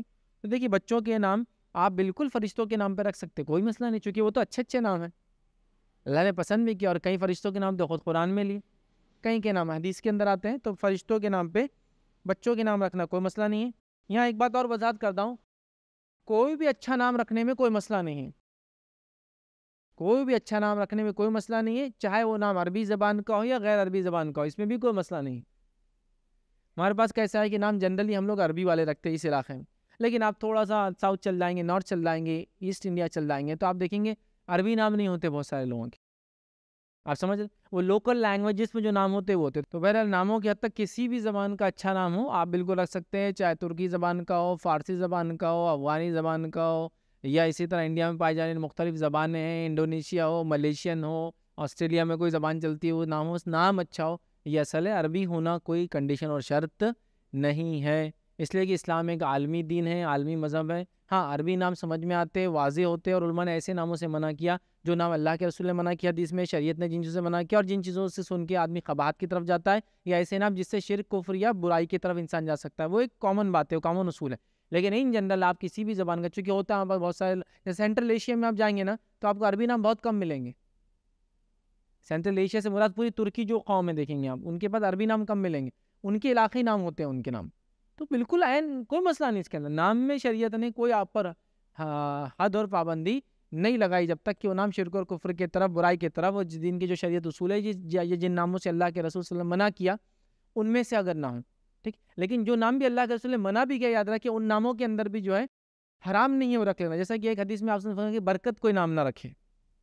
آپ بولیں برکت اتنا کہاں ہے اس لیے کہ اس میں کیا ہوتا ہے، سمجھو کوئی گھر پر آیا اور یہ بولا کہ برکت ہے کہ آپ بولتے نہیں ہے۔ تو مطلب برکت نہیں ہے۔ اس کا میننگ یہ ہوتا ہے۔ سمجھ رہے آپ؟ تو آپ سب نے منع کیا لیکن وہ حرام نہیں وہ بھی۔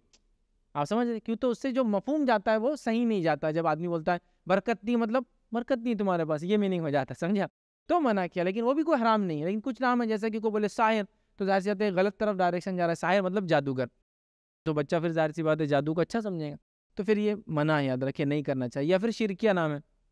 فلاں کا بندہ، فلاں کی بندی جیسا عربوں میں کامن تھا عبد الشمس، عبد العزا، عبد اللات، عبد المنات، منات کا بندہ، سورج کا بندہ، عبد القمر، چاند کا بندہ۔ آپ نے بدلا بلکہ ایسے صحابہ کے نام کو آپ چینج کر کے عبد الرحمن عبداللہ ایسے نام رکھے آپ ٹھیک ہے؟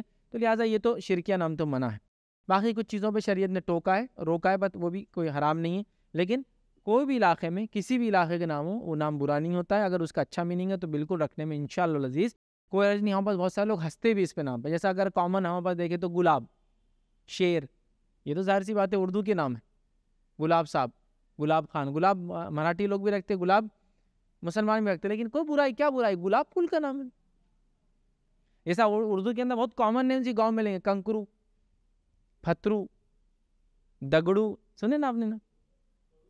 ہاں کڑو۔ تو یہ نام بھی لوگ رکھتے۔ ہیں برا میننگ نہیں ہے تو کوئی حرج نہیں۔ آپ سمجھ رہے کیوں تو عربوں میں کامن ہے۔ جیسا ہمارے پاس آپ دیکھیں گے جو دوسرے، وہ بھی ہے جیسا کہ گاجر، مولی، سبزیوں سے بھی نام بہت سے لوگ تھے گاجرے، مرے، نان مسلم میں کامن ہے۔ ہم لوگ ہنستے ہوئے گاجر، مولی، لیکن عربوں کے اندر بھی آپ کو ایسے نام ملیں گے۔ بنو کل سنا آپ نے قبیلے کا نام؟ بنو، بیٹے کل کتے کے۔ ابن حجر اسقلانی رحمۃ اللہ علیہ، پتھر کا بیٹا، ابن حجر۔ ابن، بچہ، پتھر کا، حجر۔ پتھر کو بولتے ہیں۔ امام زہابی، زہاب کہتے سونے کو۔ تو ان کا نام سو گولڈ ہے، ان کا نام، ٹھیک ہے؟ تو امام زہابی، ان کا نام گولڈ ہے۔ تو اس میں کوئی اچھا ہے نا؟ گولڈ کیوں بری چیز تھوڑی گولڈ، سلور پلاٹینم ڈائمنڈ، کیا برا ہے؟ تو نام میں اگر اچھا نام اگر اچھا ہے تو زبان سے ان شاء اللہ عزیز کوئی فرق نہیں پڑتا۔ تو بہرحال بچے کے نام فرشتوں کے نام پہ آپ رکھ سکتے ہیں۔ بٹ ہمارے پاس مسئلہ یہ کہ بچوں کے نام فرشتے یا انبیاؤں کی اور نیک لوگوں کے چھوڑ کر ہم یونیک نام ڈھونڈتے ہیں تو یونیک کے چکر میں نہ جائے اچھا مانا ہو تو رکھ سکتے ہیں آپ ان شاء اللہ اور کسی کا نام ایسا سن لے، آپ جو اور دکھتا آپ کو تو آپ کے اور دکھنے سے وہ اور نہیں ہوتا، وہ نام ہوتا ہے۔ اور کئی بار لوگ عربی ناموں کے چکر میں اتنے جاتے ہیں کہ کچھ بھی چیز کو عربی سمجھ کے وہ کر دیتے ہیں۔ میں ایک بار گیا تو ایک بچے کا نام میں نے دیکھا، اس کو بول رہے تکت زبان۔ یہ کیا نام بولے، قرآن میں ہے نا۔ فوی ائی علیہ ربی کا ابھی تکت زبان تو لے۔ بچے کا نام ہے تکت زبان۔ عجیب ہی دکھا نا، تکت زبان مطلب جھٹلانا۔ تو کیوں رکھ دیتے نہیں بولے، وہ عربی نام ہے نا، بولے تو تکت زبان۔ تو عجیب ہے۔ تو بہرحال عربی کے چکر میں آپ دیکھیں پھر کیا میننگ ہے عربی میں بھی جو رکھا جا رہا ہے اس کو بھی سمجھنے کی بہرحال ضرورت جھوٹ بولنے والوں کو کیا گناہ ملیں گا؟ بھائی نے سوال کیا کہ جھوٹ بولنے والے کو کیا گناہ ملیں گا؟ تو یاد رکھے جھوٹ بولنا یاد رکھے اتنا سنگین جرم ہے کہ جھوٹ بولنے والا یاد رکھیے آپ صلی اللہ فرمایا کہ جب انسان جھوٹ بولتا ہے اور جھوٹ بولتا چلا جاتا ہے اس کا نام جھوٹوں میں لکھ دیا جاتا ہے اور پھر اس کا نام جہنم وہ جہنم کے راستے جہنم رسید کر دیا جاتا ہے۔ اور جب انسان سچ بولتا ہے اس کا نام سچوں میں لکھ دیا جاتا ہے اور وہ جنت کے اندر داخل ہو جاتا ہے، تو لہٰذا جھوٹ انسان کو جہنم تک لے جاتا ہے۔ جھوٹ انسان کو جہنم تک لے جاتا ہے، لیکن جھوٹ کا ایگزیکٹلی کیا گناہ ہے فلاں حدیث میں نہیں ہے۔ جو بھی ہوگا لیکن جھوٹ جمع ہوتا ہے اور جھوٹ انسان کو، انسان جھوٹ بولتا ہے اور جھوٹ بولتے جاتا ہے، حتیٰ کہ اس کا نام جھوٹوں میں لے دیا جاتا ہے اور وہ جہنم رسید کر دیا جاتا ہے۔ تو لہٰذا جھوٹ بولنا انسان کے لیے بہت سخت جرم اور بڑا گناہ ہے، کبیرہ گناہ ہے اور یہ انسان کو جہنم تک لے جاتا ہے۔ یاد رکھیے، کسی نے ایک سوال کیا، کوئی عورت کسی بچے کو دنیاوی فائدے کے لیے دودھ پلاتی ہے، جیسے کہ پیسوں کے لیے۔ پھر ان فیوچر اس بچے، اس اس، اسے اپنی بچی کا نکاح اس بچے سے نہیں کرنا ہے، اس لیے۔ اچھا سوال تھوڑا سا وہ ہے۔ کوئی عورت اگر کسی بچے کو دنیا فائدے کے لیے دودھ پلاتی ہے تو یہ کیسا ہے؟ پہلے اس کا جواب دیتا ہے یاد ہے کہ کوئی بھی عورت کسی بچے کو اگر دنیاوی فائدے کے لیے دودھ پلاتی ہے، جیسا پیسہ وغیرہ مل جائے تو اس میں کوئی حرج نہیں ہے۔ نبی اکرم صلی اللہ علیہ وسلم کو جب رضاعت کے لیے بھیجا گیا، جو عربوں میں طریقہ تھا، وہ گھروں میں نہیں کرتے تھے رضاعت۔ بچے جاتے تھے، عرب کلچر میں رہتے تھے، گاؤں وغیرہ میں رہتے تھے۔ اور وہاں تہذیب تھی ان کی۔ عربوں کی تہذیب گاؤں میں ہوتی۔ یہ افسوس کی بات ہے، ہماری تہذیب ہمارے شہروں میں ہے گاؤں کو ہم برا مانتے ہیں، لیکن عربوں میں آج بھی ان کی تہذیب اور کلچر بولے تو وہ گاؤں کو ہی مانتے ہیں۔ حتیٰ کہ گاؤں نہیں جا سکتے تو گاؤں جیسا اپنا گھر بنا لیتے۔ ہیں گھر کے بیچ میں ریت لا کے ڈال دیتے، اس میں خیمے لگاتے۔ محلوں کے اندر خالی جگہ ہوتی ہے نا ہماری، تو وہاں خیمے لگا کے رات میں بیٹھتے ہیں اور شاعری اور ادب کی باتیں کرتے ہیں۔ چونکہ ان کا ابھی بھی ادب، ان کا کلچر ان کی لینگویج پوری بڈوئن کلچر بدوؤں کے اندر ہوتی ہے، جو صحرا میں رہتے ہیں لوگ۔ ریگستانوں میں رہنے والے جو لوگ ہیں، وہی ان کے اصل ہیں، ٹھیک ہے؟ تو وہ بھیجتے ہیں تاکہ بچے فصاحت، بلاغت، عربی زبان اور شاعری وغیرہ سیکھے نبی اکرم صلی اللہ علیہ وسلم کو بھی یہی کیا گیا اور آپ کو جس دائیا نے لیا، وہ مجبور تھی، اس لیے کہ وہ ظاہر چاہتے پیسوں کے لیے کرتے تھے وہ لوگ۔ لیکن وہ مجبور بھی تھی اور وہ بھی تھی کہ کیا کرے کہ ایک یتیم بچہ دیا جا رہا ہے۔ اور یتیم بچہ مطلب یہ کہ پیسہ زیادہ ملنے والا نہیں ہے۔ لیکن آپ مجبور بھی تھی، اس لیے کہ آپ کو کوئی دوسرا بچہ ملا بھی نہیں ہو کہتی ہے۔ اب جو گدھی پہ آئی تھی، وہ گدھی چلتی بھی نہیں تھی برابر۔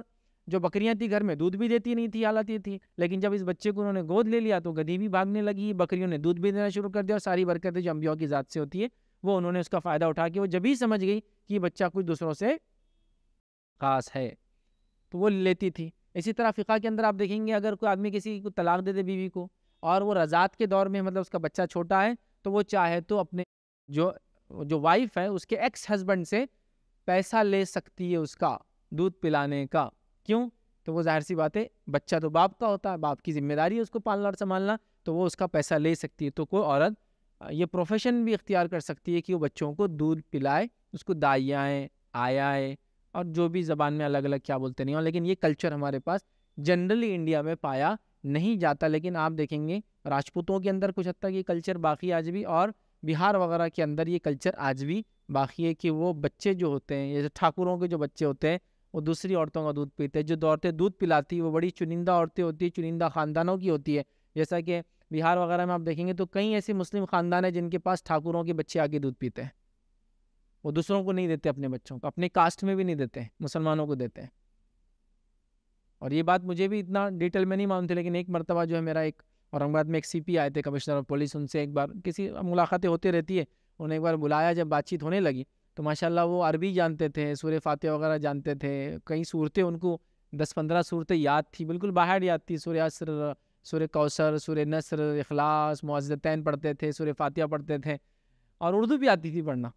تو جب بات چیت ہوئی تو بولنے لگے، میری پہلی ماں، میری وہ ماں جس نے پیدا کیا، ٹھاکر۔ اور میری دوسری ماں وہ ہے جس نے مجھے پالا، میری دائیا وہ میری مسلمان ماں ہے۔ تو جب ہم وہ کلچر میں جاتے ہیں، ہمارے ٹھاکر فیملیز وہ بہار کے کسی علاقے سے تھے ہم سے مسلمان ایک خاندان سے دودھ پیتے ہیں، میں وہاں گیا، دودھ پیا تو ہماری مائیں ہم کو اردو سکھاتی، اور عربی سکھاتی بچپن میں گھروں کے اندر۔ تو ہم لوگوں کو عربی، اردو، ناظر ہم، قرآن، یسن القرآن، قرآن پورا پڑھے بچپن میں۔ مطلب وہ چونکہ ہم کو بڑا ہونے تک پانچ چھ سال تک یہ سب سکھا دیتے گھروں کے اندر، اور ہمارے فیملی والے اس کو برا نہیں مانتے اور وہ انہیں خاندانوں کے پاس بھیجتے جو مسلمان پڑھے لکھے ہوتے ہیں۔ تو ایسا پروفیشن اختیار کرنے مطلب کوئی پروفیشنلی بھی یہ کرے تو وہ نہیں ہے۔ بٹ اس معاملے میں لوگ اس چیز کی احتیاط رکھتے تھے کہ وہ یاد رکھتے تھے کہ اس بچے نے دودھ پیا، اس لیے کہ وہ ان کا بچہ ہو جاتا ہے پھر یاد دودھ وہی رشتے قائم کرتا ہے جو خون قائم کرتا ہے حدیث میں۔ تو وہ عورت اس کی ماں ہو گئی اس بچے کی۔ وہ آدمی اس کا باپ جیسا ہو گیا ادھر۔ ان دونوں کے جو بچے ہیں، وہ اس بچے کے لیے سگے بہن بھائی جیسے کوئی پردہ نہیں ان دونوں کے بیچ میں۔ وراثت میں نہیں حصے دار ہوں گے لیکن یہ اندر کی۔ لیکن باقی سارے رشتے جڑ جائیں گے۔ مطلب اس آدمی کی بہن اس کی پھوپھی جیسی ہوگی اس عورت کی بہن اس کی خالہ جیسی ہو گئی۔ سب رشتے لگ جاتے ہیں یاد رکھیں تو خون جو رشتے قائم کرتا ہے معاشہ فرماتی آپ نے فرمایا رضا دودھ بھی وہی رشتے بنا دیتا ہے۔ تو بہرحال ایسا کرنے میں انشاءاللہ عزیز کوئی اجرت لے کر بھی کرے تو کوئی حرض نہیں۔ اب ایک سوال آگے ہے کہ پیسوں کے فائدے کے لیے بھی کسی نے دودھ پلایا کسی بچے کو؟ اور یہ سوچ کے پلایا کہ میں میں نہیں چاہتی ہوں کہ میری بیٹی سے یا میرے بیٹے سے شادی کریں ان کے گھر والے۔ تو بھی کوئی مسئلہ نہیں۔ لیکن ایسا کیوں راستے بند کر رہے آپ خواہ خواہ آج آپ سوچ رہے کہ رشتہ نہیں ہونا، کر دے رہے، کل آپ پچھتائیں گے ہو سکتا ہے کہ یار بچہ تو اتنا اچھا نہیں ہوتا نا کبھی ضد میں کہ اس کے بچوں سے شادی نہیں ہونا اپنی بول کے آپ دودھ پلا دے رہی ہے ضد میں، اس کو پیسے بھی لے لے رہے، دودھ بھی پلا دے رہے۔ بٹ آپ دیکھیے، کیوں کل کے راستے آپ بند کر رہے ہیں؟ لیکن اگر کوئی کرتا ہے، دودھ پلانا جائز ہے، لیکن پھر وہ حرمت والے رشتے قائم ہو جاتے ہیں، اس بات کو بھی وہ ذہن میں رکھے السلام فیضی، میرا سوال ہے، یہ خزاب جو لگاتے، کلرنگ جو کرتے، تو اس میں بہت سارے شارٹ کٹس لوگ مطلب بتاتے یا کسی سے پوچھے، تو اس کی صحیح وضاحت نہیں ملتی، کوئی بولتا ایسا، کوئی بولتا ایسا۔ تو اس کا ایک دم شارٹ میں بتا دے کہ یہ چیزیں جائز ہے نہ جائز۔ بھائی نے سوال کیا، جو خزاب لگاتے ہیں بالوں کو، تو اس میں شریعتاً کیا جائز ہے، کیا ناجائز ہے؟ لوگ بہت سارے شارٹ کٹس بتاتے ہیں وغیرہ وغیرہ۔ تو دیکھیے خزاب کے اندر آپ جو ہے کالا چھوڑ کر کوئی بھی رنگ لگائے، کوئی مسئلہ نہیں ہے۔ کالا نہیں ہونا بس۔ حتیٰ کہ آپ مہندی کے اندر کچھ ایسا ڈالیں جس سے مہندی ایک دم بہت زیادہ اس کا کلر جیسا ریڈ سے نکل کے براؤن اور براؤن سے نکل کے ڈارکش براؤن تک چلے جاتا ہے، وہ بھی جائز ہے۔ جیسا کافی ملاتے ہیں مہندی میں مہندی کے اندر چائے ملاتے تھے ٹی، اس سے کیا ہوتا ہے، مہندی لال نہیں ہوتی، پھر لال سے الگ کلر دیتی، اس کو بولتے براؤن براؤن سے بھی الگ کلر دیتی، وہ ایک دم ڈارک براؤن ایک دم، کوئی مسئلہ نہیں۔ جب تک وہ کالا نہیں ہے، سب جائز ہے۔ اب نیا مسئلہ نکال لوگوں نے، کالی مہندی بول کے مہندی لا لی۔ مطلب مہندی کالی نہیں ہوتی بھائی، مہندی تو لال ہی ہوتی ہے، لیکن وہ بولے مسلمان لگائیں گے تو کالی کالی مہندی کوئی چیز نہیں ہوتی۔ تو آپ مہندی لیں یا کوئی اور کلر لیں، لیکن ظاہر سی تو وہ کلر جو ہے بال کے اندر جانا چاہیے، بال کے اوپر کور نہیں بننا چاہیے، اس بات کا خیال رکھیں۔ کچھ کلرز ہوتے ہیں، وہ لال بھی ہو براؤن بھی ہو، وغیرہ وغیرہ ہو، کچھ کمپنیز کے، وہ کیا کرتے ہیں، آپ کے بال کے اندر نہیں جاتے، سفید بال کے اوپر کوٹ بنا دیتے ہیں۔ بال کے اوپر ایک تھن لیئر بنا دیتے چھ چھ مہینے تک وہ نکلتے نہیں پھر۔ لیکن وہ چیزیں جو بال کے اندر چلی جاتی ہے سب مہندی ہے مہندی ناخن کے اندر بھی چلی جاتی بالوں پہ آپ لگائے بالوں کے اندر چلی جاتی ہے، یاد رکھیں۔ مطلب اوپر سے کوئی کوٹ نہیں بناتی، اس سے بالوں میں کوئی وضو میں، غسل میں پرابلم نہیں ہوتی، ٹھیک ہے؟ مہندی ناخن پہ لگائی سی لیکن نیل پالش لگائیں گے تو وہ غسل نہیں ہوگا وضو بھی نہیں ہوگا لیکن مہندی کا مسئلہ ویسا نہیں، مہندی ناخن کے اندر چلی جاتی ہے، اس کا حصہ بن جاتی ہے۔ تو لہٰذا پھر مہندی مسئلہ نہیں۔ تو آپ مہندی لیجیے۔ مہندی میں کوئی کلر ڈالیے، جیسا کہ میں نے کہا کافی چائے جو بھی ہو سکتا ہے، کچھ جڑی بوٹیاں بھی آتی جو ڈالی جا سکتی ہے جس سے کلر اور ڈارک لال اور براؤن اور براؤن میں ڈارک براؤن ڈارکسٹ براؤن ہو جاتا ہے، لیکن وہ بلیک نہیں ہوتا ہے کبھی بھی یاد رکھیں۔ آپ دور سے ایسا لگ سکتا ہے بلیک جیسا، لیکن نزدیک آئیں گے، دھوپ میں دیں گے تو کلیئر رہیں گا کہ ایک دم ڈارک براؤن ہے۔ تو بالکل جائز ہے۔ بس کالا نہ ہو، آپ بس یہ اصول یاد رکھ لیجیے آپ بول رہے ہیں، میں نے مہندی لیا اور مہندی کے اندر کچھ تو بھی ایسا کیمیکل ڈالا کہ کالا ہو گیا ہو۔ پھر آپ کوٹنگ کوٹ کیا کر رہے ہیں؟ بول رہے کیا؟ مہندی ہے۔ ہاں اس کو کالا کرنا ہے، بس مہندی کو لا کے، پھر نہیں ہوگا مہندی بھی اگر ہے اور اس میں کچھ ایسا کلر آپ نے ڈالا جس سے مہندی کالی ہو گئی تو پھر وہ بھی جائز نہیں۔ کالی مہندی نہیں ہوتی ہے۔ اسی لیے تو مہندی کہا گیا حدیث میں کہ وہ الگ دکھتی ہے، اسے سمجھ میں آتا ہے، ٹھیک ہے؟ تو آپ چاہے تو سفید بال بھی رکھ سکتے کوئی رکھنا چاہے تو۔ مستحب ہے ریکمنڈیڈ ہے بالوں کو لال کرنا، لیکن ضروری بھی نہیں، یہ بات بھی میں آپ کلیئر کر دوں کیونکہ بہت سارے لوگ جو وائٹ داڑھی رکھتے ہیں وائٹ سر کے بال رکھتے ہیں تو بہت سے لوگ ان کو کوستے ارے میاں، حدیث میں ہے نا لال کرو، ہے۔ لیکن نہ بھی کرے تو کوئی مجھ سے غلط نہیں۔ تو اس سے پتہ چلا کہ ضروری نہیں ہے، لیکن ریکمنڈیڈ ہے۔ ایسا کچھ لوگ کوستے، کچھ میاں لگانا داڑھی کو سفید، اچھی بات ہے لال کرنا بہت اچھی بات ہے۔ چونکہ آپ نے حکم دیا، اس کا بتایا کہ کیا کرو، رنگا کرو اپنے رنگوں سے، مراد لال کیا کرو۔ یہود و نصارہ سے الگ دیکھو، یہاں تک ہے۔ لیکن اگر کسی وجہ سے کوئی نہ بھی کرے تو کوئی بری چیز وہ نہیں کر رہا ہے۔ تو لہٰذا کالے تک نہ جائے، باقی آپ بیچ میں جو بھی ہے اس میں انشاءاللہ کوئی حرض بس چاہے مہندی میں بھی کچھ ایسا نہ ملا کہ بلیک ہو جائے۔ کسی سوال کیا دو حاملہ عورتیں ایک ساتھ ایک گھر میں رہ سکتی ہیں؟ کوئی مسئلہ نہیں اس میں۔ ایک گھر میں ایک ساتھ دو حاملہ عورتیں رہنے میں کوئی مسئلہ نہیں، سوائے یہ توہم چلتے ہیں۔ جیسا ایک منڈپ میں دو شادیاں جائز ہے کیا؟ لوگوں کا توہم ہوتا اگر ایک ساتھ دو شادی ہوئی تو ایک شادی ٹوٹ جاتی ہے، ایک کا کوئی مر جاتا۔ بڑے بہن بھائی میں سے اگر مطلب دو لڑکی اگر بڑے، چھوٹے کا اگر پہلے نکاح ہو گیا تو پھر اچھی بات نہیں رہتی، توہم بولتے اس کو، سمجھے؟ یہ کیا بولتے وہم، کہ ایسا کرے تو ایسا ہوتا۔ تو یہ بھی اسی کا پارٹ ہے کہ دو حاملہ عورتیں گھر میں نہیں رہنا، نہیں تو ایسا ہو جاتا ویسا، یہ سب فالتو باتیں کوئی حرج نہیں اس کے اندر کہ گھر میں دو حاملہ عورتیں رہیں۔ چرن کوئی خباہت کی، کوئی برائی کی، نہ میڈیکل کوئی ایشو ہے، نہ ریلیجس کوئی ایشو ہے، کوئی انشاءاللہ حرج نہیں ہے۔ کسی نے ایک اور سوال کیا، میرا ایک بیٹا چار سال کا ہے اور اور میں سیکنڈ ٹائم پریگننٹ ہوں۔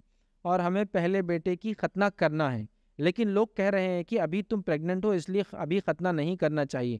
کیا یہ صحیح ہے؟ اب یہ بھی فالتو بات اور توہم ہے توہم سمجھتے آپ؟ یہ ایسا توال گرا تو مہمان آتے، کوا چلائے تو فلاں ہوتا، الو آ گئے تو کوئی مر جاتا، بڑباغل گھر میں آ گئے تو نحوست آتی۔ یہ اسی کا ایک توہم کا پارٹ ہے کہ آپ پریگننٹ ہے تو بچے کی ختنہ کرانے نہیں دے رہے۔ اس کے، اس کا ریزن کیا بتاتا ہوں؟ لوگوں کا یہ ماننا ہے کہ اگر پریگننٹ کو لیڈی ہو اور گھر میں کسی کو کٹس لگایا جائے انسیشن لگایا جائے مطلب جیسے آپریشن وغیرہ کے ذریعے کرتے ہیں، تو بچے کے ہوٹ میں یا اس کی انگلیوں میں پیروں کی ہاتھوں کی پرابلم آ سکتا ہے، وہ کٹ لگ سکتا ہے۔ بچوں کے ہوٹ کٹے ہوئے دیکھیں نا، آپ نے ہوتے جنرلی۔ تو وہ وہ عقیدے سے بولتے ہیں جو کہ بد عقیدگی ہے۔ اس کا کوئی سائنٹیفک پروف بھی نہیں اور اسی بد عقیدگی کے تحت بولتے ہیں، سورج گرہن کے ٹائم پر بھی چھری نہیں چلانا تو بچے کی ہوٹ کٹے ہوئے ہوتے ہیں۔ یہ بد عقیدگی کی وجہ سے بولتے ہیں کہ ختنہ نہیں کرانا مانے، اگر اس کا وہ پریگننٹ ہے پھر سے تو بچے کا۔ یہ بد عقیدگی ہے۔ تو آپ بالکل اپنے چار سال کے بچے کا ختنہ کرا سکتی ہے۔ ریکمینڈ تو میں کروں گا بچوں کی ختنہ جتنی جلدی ہو سکتے اتنے جلدی کر دیا کرے تو زیادہ بیٹر ہے اور فائدے مند ہے۔ لیکن بہرحال ہمارے پاس ایک سسٹم ہے، ہماری ختنائیں بہت لمبے لمبے دور تک نہیں چلتی ہے۔ دس دس سالوں تک جنرلی ہمارے پاس ختنہ نہیں کراتے، ایسا نہیں ہونا چاہیے۔ عربوں کے اندر آپ ان کے ٹریڈیشن کے کلچر میں دیکھیں گے نا، تو بچہ ہاسپٹل کے روم سے باہر آئیں گا تو وہ ختنہ کے ساتھ ہی آئیں گا۔ اگر لڑکا تھا تو۔ اس کا چانس ہی نہیں مطلب لڑکا ہوا وہیں اس کی سرکمسیشن ہو کے باہر آتا باہر ہو۔ مطلب پہلی بار جب گھر میں کوئی لیں گا جھولے میں، اس کی ختنہ ہوئی ہوئی رہیں گی۔ وہ اس کا آپشن ہی نہیں، ان کے پاس کہ اس کو رکھیں گے، دس دس سال لگائیں گے۔ ہمارے پاس کیا ہے، ترکوں کا ایک کلچر تھا جو ہم پر کافی حد تک حاوی ہے۔ سینٹرل ایشیا کا کلچر انڈیا پہ بہت حاوی ہے۔ وہ صوفیہ وغیرہ بھی سب سینٹرل ایشیا سے ہیں انڈیا میں۔ ازبیکستان کزاکستان ترکمنستان ترکی یہ سب پورے ایریے سے دیکھے جتنے صوفی سنت مہنت ہمارے پاس کیا نا، سب رشین بولتے ہیں۔ رشیا کا پارٹ تھا تو رشین بولتے ہیں، لیکن سب پورے ہمارے اطراف بھی جتنے سب اکثر یہی پارٹ کے ہیں۔ تو ان کے ایسے کلچر کیا تھا معلوم آپ کو؟ یہ لوگ بچوں کی ختنہ جلدی نہیں کرتے تھے اور ختنہ بڑے ہونے کی بات کرتے تھے اور ختنہ کا ایک پورا پروگرام کرتے تھے۔ اگر آج بھی کسی کو سینٹرل ایشین کلچر کا ختنہ کا پروگرام دیکھنا ہے تو جیسا شادی ہو رہی پورے محلے کو دعوت۔ پورے محلے کو دعوت، وہ لڑکے کو جو ہے ایک پورا شیڈ بنا کے اس کے نیچے آٹھ دن بٹھایا جاتا۔ ایٹ ڈیز تک اس کا رسم چلتا۔ یہ، اور اس کے بعد پھر اس کی بڑی دھوم دھام سے ایک دم پوری پبلک کے سامنے سے انوگریشن اور دکان کا ختنہ کرتے اس کی۔ مطلب پوری لوگ آٹھ دن تک آ رہے کھانے پکا رہے یہ کر رہے پھر سب جمع ہوتے اس کے ختنہ کے دن اس کو۔ اور وہ بڑا بچہ، دو دو، تین، دس سال کا، بارہ سال، یہاں تک کہ تیرہ، چودہ سال کے بچوں کی ختنہ کرتے ہو۔ پھر اس کے بعد اس کو بٹھا کے پورے پبلک میں اس کی ختنہ ہو رہی چلو ختنہ ہوئی اس کی۔ چلو۔ سمجھے؟ یہ ان کا کلچر ہے۔ وہ انڈیا میں بہت حاوی رہا ہو کلچر اس کا نتیجہ یہ کہ ہمارے پاس ختنہ ہے جنرلی ابھی تو لوگوں میں کافی ماشاء اللہ شعور آ گیا۔ میں نے تو یہاں تک دیکھا لوگوں کو، ابھی وہ سسٹم تو نہیں ہے کہ پیدا ہوتے ہی کر رہے یہ بات تو ہے کہ بچے کے رینگنے سے پہلے، وہ الٹا ہونے سے پہلے کر دے رہے فرسٹ منتھ سیکنڈ منتھ میں، ساتویں دن ماشاء اللہ بہت اچھا جلدی ہو جانا یہ ایک اچھی چیز ہے۔ اچھی چیز ہے۔ تو لیکن میں نے دس سال تک دیکھا ہوں، یاد رکھی دس دس سال، بارہ بارہ سال دیکھا ہوں، ختم یاد اور کچھ بچے پھر وہ ڈر گئے، پتہ نہیں فیڈس آ رہے ان کو کیا کیا ہو رہے تو ان کی شادی سے پہلے خاموشی میں کر کے لاتے معلوم میں نے پریکٹیکل دیکھا ہوں کہ بچوں کی مطلب بچے کیا بولیں گے؟ بڑے ہو کے شادی ہونے والی ہے تو اس سے ایک پندرہ دن پہلے ختنہ کرتے ہیں۔ کیوں تو بولے بچپن میں اس کو فیٹ آتے تھے، انہیں ڈر جاتا تھا، وہ بھاگ جاتا تھا، پھر دس سال میں کرے تو پہلی بار جر رہا ہے تو انہیں مار کے بھاگ گیا، دوسری بار گیارہ سال میں کرے تو انہیں جرا کو دانت توڑ دیا تو مشہور ہو گیا کہ انہیں بچہ مارتا تو نہیں کرے دوخانوں میں ہوتی نہیں تھی اس زمانے میں۔ پھر اس کے گھر میں کوئی جرا آ رہا نہیں، وہ جرا جو رہتے نا، کیا بولتے ہیں ان کو؟ جراؤں کو ہمارے پاس بڑا عزت دے کے، کیا بولتے خلیفہ۔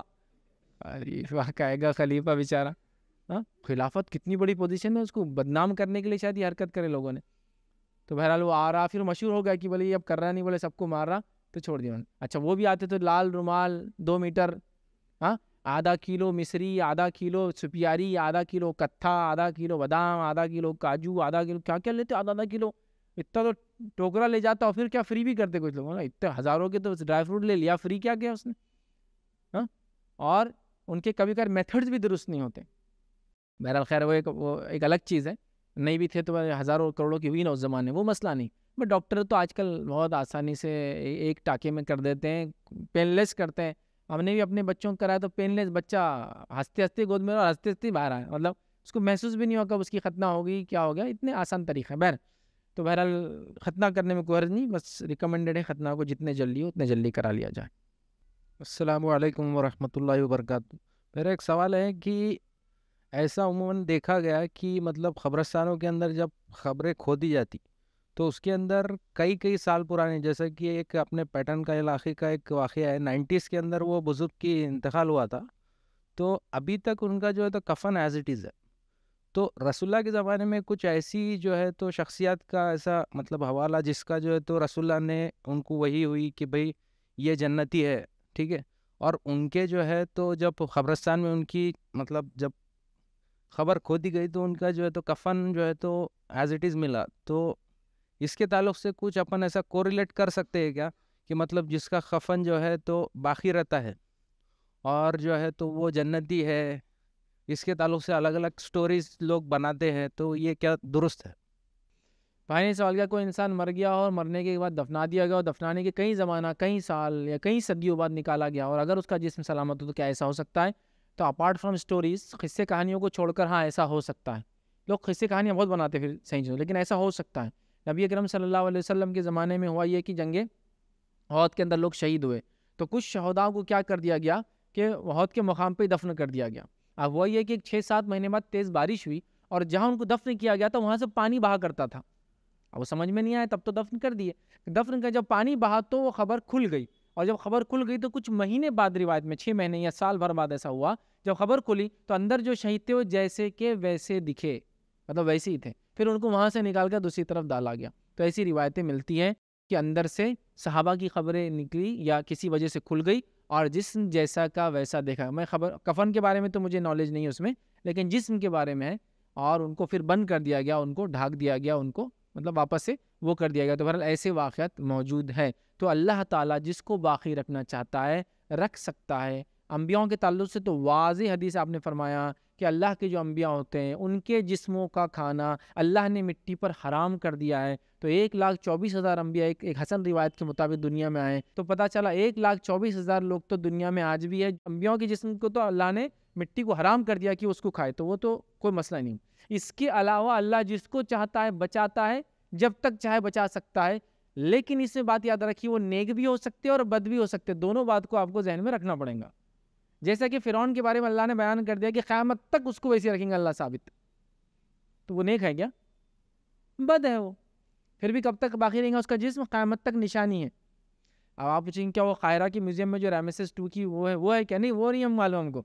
اللہ نے کیا بولا؟ اللہ نے یہ حکم دے دیا کہ فرعون کی لاش قیامت تک جیسی کی ویسی رہیں گی، لیکن کیا وہ مصر کے اندر جو موجود لاش ہے وہ فرعون کی؟ واللہ والا ہم اس کو کمنٹ نہیں کرتے۔ وہ بولنا ایک خطرہ ہے، چونکہ ہم کو نہیں پتا وہ فرعون ہے یا نہیں ہے، ایک بات یاد رکھ لیکن یہ بات یاد یاد رکھی میں نے نیک اور بد کا کیوں کہا؟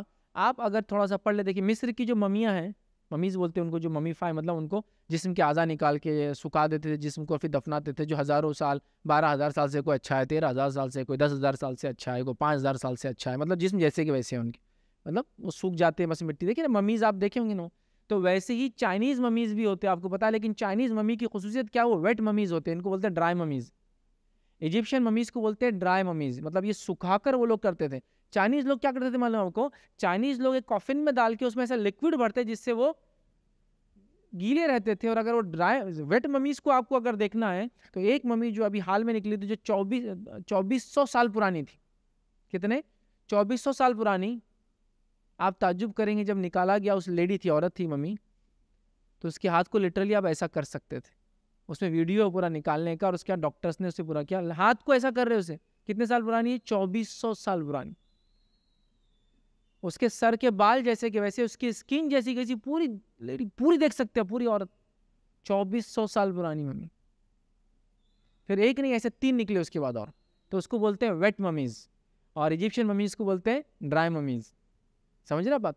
تو نکلے ایسے جس اور پھر ان کا پروسموٹم کیا گیا اٹاپسی کیا گیا، یہ کیا گیا، دیکھنے کے لیے کہ کون سے کلچر میں جی کتنے سال پہلے جی کیا کھائی تھی، آخر وقت میں کیا کھائی تھی، جب پیٹ کا آپریٹ کیا گیا تو اس کے میدے کے اندر جو ہے آپ کو وہ کیا بولتے ہیں خربوزہ کھایا ہوتا اس نے آخری وقت میں، خربوزے کے بیچ تک باقی تو ہضم نہیں ہوئے تھے۔ اور ظاہر سی بات ہے یہ نیکو کار تو نہیں ہوں گی ریزن بینگ کہ اللہ تعالیٰ نیکو کار کے جسموں کے ساتھ انسانوں کو کھیلنے کا موقع ایسا نہیں دے سکتا۔ نکالا گیا، وہ کیا گیا ڈسیکشن کیا گیا، وہ سارے کیا گیا۔ تو ایسے تین تو ریکارڈڈ ہیں واپس تو اللہ تعالیٰ جس کو چاہتا ہے باقی رکھ سکتا ہے، نیک بھی ہو سکتا ہے، بد بھی ہو سکتا ہے۔ جہاں تک آپ کا سوال تھا، کفن کا جیسا کہ ویسے اللہ عالم مجھے کفن کے بارے میں تو کوئی روایتیں میرے علم میں نہیں ہے، لیکن جسم کے خبروں میں کئی کئی مہینے بعد بھی اچھا نکلنے والی روایتیں موجود ہیں اور اس کے علاوہ کچھ شواہد ہے تو میں یہ کہوں گا، اللہ تعالیٰ نے انبیاؤں کو تو باقی رکھا۔ انبیاؤں کے علاوہ اللہ تعالیٰ نیک اور بد میں سے جس کو چاہتا ہے، اس کے جسموں کو باقی رکھ سکتا ہے۔ جب تک چاہتا ہے، جب تک باقی رکھ سکتا ہے۔ جس میں میں نے ایک مثال فرعون کی دے دی اور یہ دو تین ممیز جو ویٹ ممیز کے نام سے مشہور ہے چائنا میں، وہ ہے۔ اور چونکہ وہ لیڈیز کی تو ہم جانتے ہیں، انبیاء تو کسی بھی حال میں نہیں عورتوں کی نکلی ہوئی، ایک سے دو جو نکلی۔ اور باقی اللہ ہی بہتر جانتا بہرن کر لیکن ایسی نکلی ریکارڈڈ ہے۔ تو لہٰذا اللہ جس کو چاہ سکتا ہے بجا سکتا ہے۔ تو اب نیک گمان کرے، بد گمان کرے، واللہ عالم یہ کہیں گے کہ اللہ ہی بہتر جانتا ہے۔ لیکن اگر ان کا خاتمہ ایمان پہ ہو تو ہمارا حسن زن یہی ہے کہ ایمان والے ہوں گے۔ کفن اچھا ہونا نہیں ہونا، مجھے نہیں پتا لیکن جسم کے اچھا نکلنے کے واقعات موجود ہیں۔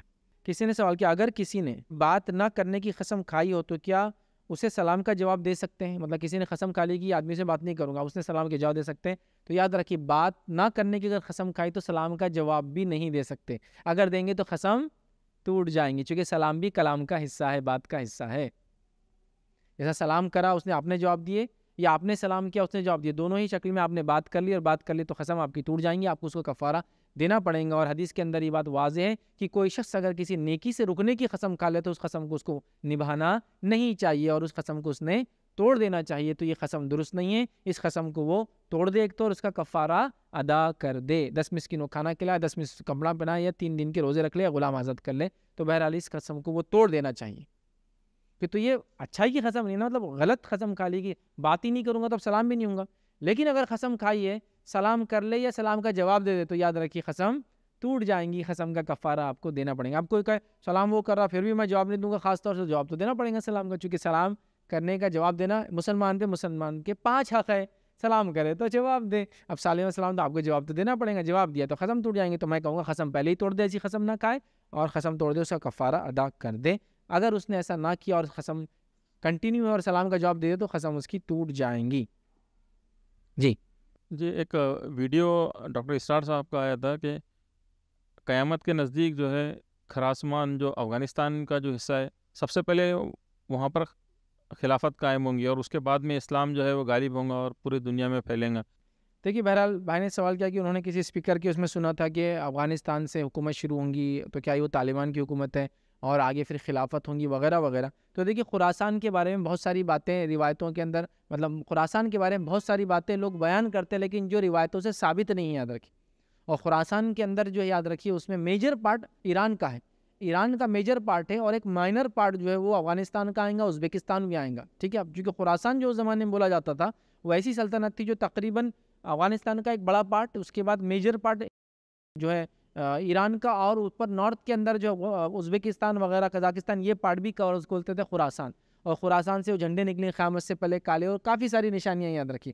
لیکن بہرحال کیا وہ ان سے ریلیٹڈ بالکل ان سے ریلیٹڈ نہیں ہے۔ چونکہ انٹرنیٹ پہ یہ باتیں بہت بالکل وائلڈ فائر کی اسپریڈ ہو رہی ہے۔ حتیٰ کہ ایجنسیز، میں نے تھوڑے ہی دن پہلے آرٹیکل پڑھا، جو ہے انڈیا کی جو ہے را نے بولے، ایک رپورٹ اس سے بنائی کہ خوراسان کی کیا اسلامی تاریخ کے اندر امپورٹنس ہے چونکہ اب خوراسان کے نام پر لوگ جو ہے خلافت اور جہاد اور دجال اور مہدی اور اس کے دعوے کر رہے ہیں۔ تو گویا اب حکومتوں کو پتہ ہے کہ یہ ساری چیزیں مسلمان سوچ رہے ہیں۔ چونکہ اس لیول پہ لوگ کام کر رہے ہیں۔ اور جیسی افغانستان میں ایمریٹس کی بات ہوئی، تو خوراسان کے قائم کرنے کے چکر میں ایک گروپ بھی بن گیا۔ مطلب جو پہلا اٹیک ہوا افغانستان کے اندر طالبان کی حکومت آنے کے بعد وہ انہوں نے کیا۔ کچھ تو بھی نام بھی ان کا، کون سا تو بھی خوراسان کی کچھ تو بھی خوراسان اس کا پارٹ ہے ان کے نام کا ایک۔ تو انہوں نے اٹیک کیا۔ تو گویا خوراسان کا کانسیپٹ انہوں نے اب لے کر آ گیا۔ تو گویا افغانستان میرٹس بنی نہیں تو بولے اب خوراسان بنانا ہے ان کو۔ خوراسان بولے تو ایران ہے وہ۔ پورا افغانستان نہیں تھا اس میں، ایران میجر پارٹ تھا۔ تو بہرحال اس تعلق سے کچھ ہی صحیح روایت ہے، کچھ ہی ہے۔ میری علامت قیامت کے نام سے ایک لیکچر ہے، اس میں خوراسان کے بارے میں جو پیشنٹ گوئی ہیں، سب میں نے اس میں بتا دیے آپ اس کو سن لیں۔ اس کو طالبان سے ریلیٹ کرنا اور ان کی حکومت سے ریلیٹ کرنا بالکل بھی درست۔ ابھی تو بالکل بھی درست نہیں ہوں گا۔ وہ قیامت سے پہلے ہوں گا۔ وہ کب آئیں گی؟ تب وہ خوراسان علاقہ ہوں گا۔ اور وہ ساری چیزیں ہوں گی۔ تو آج ہی اس کے بارے میں سوچنا میں سمجھتا ہوں۔ ٹیکنیکلی اور ریلیجیس پوائنٹ آف ویو سے درست نہیں ہے کسی نے سوال کیا، بچے کی پیدائش کے لیے اگر کسی کو آپریشن ہی کرانا پڑے تو آپریشن کے لیے اکثر جینس ڈاکٹر ہی ہوتے ہیں۔ تو ایسے میں کیا کرے؟ اگر مجبوری ہے تو آپریشن کسی سے بھی کرایا جا سکتا۔ پریفریبل تو ہو کیونکہ لیڈی، لیکن اپنے فیلڈ میں ماہر۔ اگر لیڈی ماہر نہیں تو جینٹس کے پاس بھی جانے میں کوئی حرج نہیں ہے۔ لیکن میں نے تو ماشاء اللہ اورنگ آباد میں تو کئی لیڈی ڈاکٹرس ہے جو ماشاء اللہ سی سیکشن جس کو بولتے، سیزیرین بولتے، وہ کرتی ہے تو آپریشن بچے کی پیدائش کے لیے اگر کوئی آپریشن ہی کرانا پڑے۔ ٹھیک ہے، تو بہرحال پیدائش کے لیے مطلب پیدا ہونے کے لیے میں سمجھ رہا ہوں۔ تو بہرحال میں سمجھتا ہوں، یہاں تو کافی ماہر عورتیں ہیں، ایک دو نہیں، کہیں گن سکتے آپ۔ خالی ایک روڈ پہ چل رہا ہے، یہاں سے وہاں تک تو دس مل جائیں گے آپ کو خواتین جو کرتی ہے۔ تو ایسا تو نہیں ہے، بٹ بہرحال کوئی بھی کر سکتا ہے، یہ تو مجبوری والی کیفیت ہے اور وہ ہے۔ لیکن ماہر ہونا ضروری ہے، تو اگر کوئی ماہر عورت نہیں ہے تو آپ جینٹ سے بھی کرا سکتے ہیں۔ مسئلہ تو نہیں ہے، لیکن اورنگ آباد کے حد تک تو میں کہوں گا ماشاء اللہ اس کی کمی نہیں ہے کہ جو لیڈی سرجنس ہو یا ڈاکٹرس ہو، گائنکس جو سی سیکشن یا کیا بولتے ہیں آمزوان سیزیرین حل کرتی ہو، تو اس میں تو مسئلہ نہیں ہے۔ لیکن اگر ایسا کوئی نہ ہو، تو بالکل آپ مرد سے بھی کرا سکتے ہیں۔ اس میں انشاءاللہ کوئی حرج نہیں کسی نے سوال کیا کہ سر اگر کوئی، اگر لڑکی صحیح دین پر ہے، ہو اور اللہ کے کرم سے، لیکن اس کے والدین دوسرے مسلک میں ہو جیسا کہ بریلوی ہو، سنی ہو، انہوں نے لکھا تو وہ لڑکی اپنے والدین کو کیسے بتائے کہ وہ اس مسلک والے سے نکاح نہیں کرنا چاہتی ہے جو مسلک اس نے چنا ہے؟ اور دعاؤں کی درخواست۔ تو بہرحال ہم دعا کرتے ہیں کہ اللہ تعالیٰ آپ کے ساتھ خیر کا اور تمام لوگوں کے ساتھ خیر کا معاملہ کرے۔ تو سوال یہ ہے کہ کیسے بتایا؟ تو اب دیکھیے، اب کہیں نہ کہیں آپ کو یہ چیز تو بولنا پڑیں گی کہ میں ایسے لڑکے سے نکاح کرنا چاہتی ہوں جو فلاں جماعت یا مسلک سے تعلق رکھتا ہے، میں آپ کے جماعت یا آپ کے مسلک کے لڑکے سے شادی نہیں کرنا چاہتی ہوں، آپ کو یہ بات بولنا ہی پڑیں گی۔ اب کیسے آپ بولیں گے، کیا کریں گے؟ یہ تو آپ حکمت آپ کے گھر والوں کا ماحول، مزاج آپ کو طے کرنا ہے۔ میں اس میں زیادہ مشورے نہیں دے پاؤں گا پرسنل اس لیے کہ ہر آدمی اور ہر فیملی کا بیک گراؤنڈ اور مزاج الگ ہوتا ہے۔ میں کچھ بول دوں گا، آپ کریں گے اور پتہ چلا آپ کو اس کے بدلے تھپڑ پڑ گیا یا اس کے بدلے دو ہفتوں میں ہی شادی ہو گئی آپ کی۔ زبردستی کرتے ایسا لوگ۔ ڈر کے بچی نے تو ایسا بولتی ڈائریکٹ اب تو فلاں کر دیتے دیکھیے، میں ایک مثال دیتا ہوں۔ ایک صاحب ایک بار آئے اور ایک بچی کو ان کے بولنے لگے، دیکھو، ان کے درس میں نہیں جانا۔ آئر سے نہیں آنا۔ یہ پرانی بات ہے، جب آئر سی میڈیا مشہور نہیں تھا، بہت پرانی بات۔ تو یہ درس میں نہیں جانا۔ تو اس نے سوال کی، کیوں نہیں جانا؟ اس لیے سے نہیں جانا، بولے دیکھو، یہ یہ یہ۔ کیوں نہیں جانا؟ تم نے پوچھے نا، تمہارے ماں نے کبھی نہیں پوچھی۔ تمہارے خاندان میں یہی تھا بیٹا، بولے، اس کی وجہ سے نہیں جانا۔ مطلب وہ آپ کو سوال کرنے والا بنا دیتے۔ یہی وجہ ہے بولی یہی جو تم نے ابھی پوچھا نا۔ تم سے پہلے کسی عورت نے گھر میں میرے آواز آواز نہیں کری، تم نے سوال کی۔ یہی وجہ ہے۔ سمجھ رہے آپ تو لوگ اس وجہ سے نہیں بولتے، تو بہرحال، تو میں نہیں چاہتا کہ ایسا ہو جائے کہ آپ کچھ بولے اور اس سے ایکشن بٹ ان کو آپ سمجھائیے اور خاص طور سے یہ طریقہ آپ کریں کہ اپنے والدہ کے تھرو آپ جائیں۔ والد کو نہیں بولے ڈائریکٹ والدہ کے تھرو بات ڈالے پھر والدہ والد کو بتائے کہ بچی ایسا چاہتی ہے۔ یہ یہ زیادہ بہتر طریقہ، یا گھر میں بڑی شادی شدہ بہنیں ہوں گی، ان کے تھرو جائیں۔ کہ ایسا ایسا ہے تو وہ الحمد للہ پھر وہ کوپریٹ کرتے ہیں۔ والد کو بتائیں گے کہ ایسا ایسا ہے، فلاں فلاں فلاں تو وہ مسئلہ نہیں، ان شاء اللہ۔ تو لیڈیز کے تھرو آپ جائیں، آپ کی والدہ، آپ کی بہنیں، یا گھر میں آپ کی خالائیں وغیرہ ہو، تو ان سے آپ کی والدہ تک جیسا بھی ہو سکتا ہے، یہ تھرو جائے تاکہ باپ کے یا گھر کے ذمہ داروں کان پہ بات پڑے۔ چونکہ کبھی کبھار بہت بڑا مسئلہ ہو جاتا ہے اور لوگ اس کو کیا بولتے ہیں جان لینے اور دینے کا موضوع اور ٹاپک بنا دیتے ہیں۔ جبکہ بولتے ہیں، سب مسلمان ہیں، سب مسلمان ہیں، لیکن شادی کے بعد وہی رہتے ہیں جو اپنے جماعت کے مسلمان تو لہٰذا وہ منانا تھوڑا سا ٹف ہے، لیکن آپ کوشش کریں، اللہ سے دعا کریں، اللہ تعالیٰ ان شاء اللہ عزیز آپ کے اس مسئلے کو حل کریں گا۔ کسی نے سوال کیا کیا نکاح سے پہلے ولیمہ کر سکتے ہیں؟ تو نہیں۔ نکاح سے پہلے ولیمہ نہیں ہو سکتا، اس لیے کہ ایک چیز کے بعد دوسری چیز آتی ہے۔ نکاح کے بعد ولیمہ آتا ہے، تو اس سے پہلے کیسا ہو جائیں گا؟ سمجھ؟ تو نکاح سے پہلے ولیمہ ہو نہیں سکتا۔ نکاح سے پہلے کوئی دعوت ہو رہی سے الگ بات ہے، ولیمہ نہیں کہلاتا ہوں۔ تو نکاح ہوں گا اور نکاح کے بعد ولیمہ کبھی بھی ہو سکتا ہے۔ خود نکاح کے دن یا نکاح کے بعد کبھی بھی ایک، دو، تین، چار دن جیسے بھی حالت ہو لیکن اس سے پہلے ولیمہ نہیں ہو سکتا ہے ادر کی۔ مردے کو نہلانے سے نہلانے کے لیے پہلے مطلب پہلے غسل کرنا ہے یا مردے کو نہلانے غسل کے بعد غسل کرنا ہے؟ بھائی نے سوال کیا کہ میت کو انسان غسل دے تو وہ غسل کب کرے خود؟ تو دیکھیے میت کو غسل دینے کے بعد اور میت کو کاندھا دینے کے بعد۔ کاندھا دینے والا وضو کر سکتا ہے مستحب ہے اور غسل دینے والا غسل کر سکتا ہے مستحب ہے لیکن دونوں بھی کام واجب اور ضروری نہیں ہیں۔ اگر کر سکتا ہے تو کرے، ضروری نہیں ہے۔ تو میت کو غسل دینے والا غسل کر سکتا ہے، ضروری نہیں ہے۔ تو اب ضروری نہیں ہے، اس کا مطلب یہ کہ اب کوئی مرد کا غسل ہے تو وہ غسل دے، پھر نماز میں جائے، پھر نماز میں جائے، پھر تدفین میں جائے، اس کی بات کرے میں نے میں نے غسل دیا ایک میت کو، تو کیا میں چلا جاؤں نکل کے؟ اس کے ساتھ ہی رہوں گا۔ بعد میں میں جا کے کر سکتا ہوں۔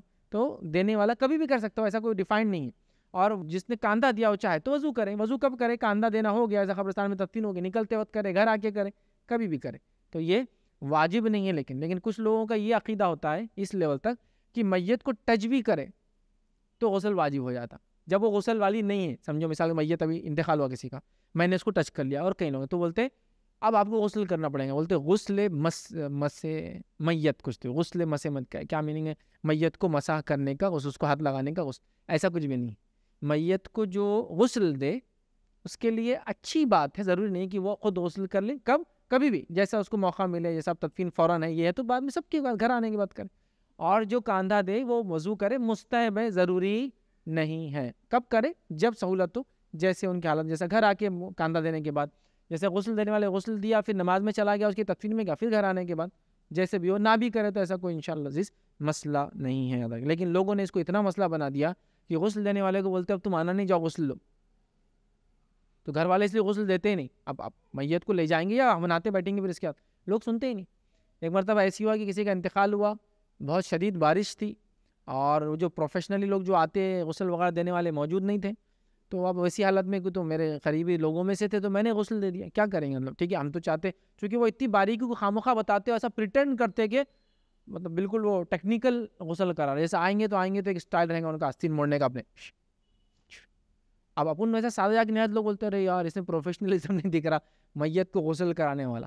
پھر آتے چالو پانی، پتھر، روئی مطلب پورے لوگ کام پہ لگا دیتا ہوں۔ اور چار اس کے بعد اسسٹنٹ کے طور پہ یوں کھڑے رہتے لٹا دو اس کو، اٹھاؤ۔ پھر وہ سب، اب اپن ویسا نہیں اب سات آدمی جائیں گا تو اس کو سات کی وجہ سے غسل کرانا تو ان کو وہ لوگوں کو وہ احساس نہیں آتا غسل والا کہ بھائی، انہوں تو اتنے پروفیشنل نہیں دکھ رہے۔ پھر بھی اس لیے آگے نہیں بڑھتے جنرلی کچھ لوگ آتا بھی اب وہاں کوئی نہیں تھا تو میں آگے بڑھ گیا۔ غسل ہو گیا، ساری چیزیں ہو گئی۔ اب تدفین کے لیے لے کے، اب بارش تھی، شدید بارش۔ اب بارش تھی تو کیا ہے کوئی امام صاحب کو بلا سکے میں چاہتا ہوں کہ جو لوگ کر رہے ہیں، وہی کرے تو لوگوں کو بھی اچھا احساس آتا ہے۔ گڈ فیل بولتے ہیں اس کو کہ اچھی فیلنگس آتی۔ اب وہاں نماز پڑھانے کے لیے بھی کوئی نہیں تھا۔ میں آگے بڑھ گیا۔ اب غسل بھی میں نہیں دیا تھا۔ فوراً غسل دے کے نکل گئے۔ نماز بھی ہم نے پڑھا دی۔ وہی کپڑوں میں کوئی کپڑے کیسے، بارش میں خود اپن پریشان ہے وہ بھی پریشان ہے پھر نماز پڑھا نکل گئے۔ لوگوں نے آ کے ان کو ٹینشن دے دیا دوسرے دن، نہیں ہوتی نماز بولے۔ انہوں نے غسل دے دیے، وہی کپڑوں میں آگے والے نماز پڑھا دی پرابلم کیا تھا اس میں؟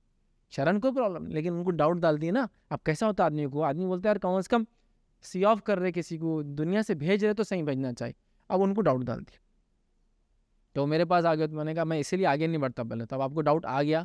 تو اب حل یہ ہے کہ غسل تو صحیح ہوا نا، اس میں تو پرابلم نہیں تھی۔ نماز کا بول رہے نا آپ ان کی جا کے خبر پہ نماز پڑھ لیجیے شرن ثابت ہے۔ میں آپ کو کئی حدیث دے سکتا ہوں۔ پڑھ لو، وہ ڈاؤٹ ختم کر دو۔ ٹھیک؟ نہیں نہیں بولے، وہ ہم کو ایسا نہیں بولے۔ آپ پہ بھروسہ نہ بھروسہ لیکن آپ کو شک تو ہو گیا نا۔ اب آپ کا یہاں آنا اس چیز کی دلیل ہے کہ آپ کو ڈاؤٹ ہو گیا اس کے بارے میں۔ تب آپ آئے۔ تو میں آپ کا ڈاؤٹ نکالنے کے لیے لے رہا آپ خالی تسلی کی باتیں مت سنیے۔ جاؤ پھر اسے پڑھ لو نماز جنازہ اس کی خبر میں۔ معاملہ ختم کر دو نا۔ کیوں زندگی پر ڈاؤٹ رکھتے اس کو؟ تو لوگوں کا ایسا مسئلہ ہے۔ بہرحال تو کرنا، کر سکتے؟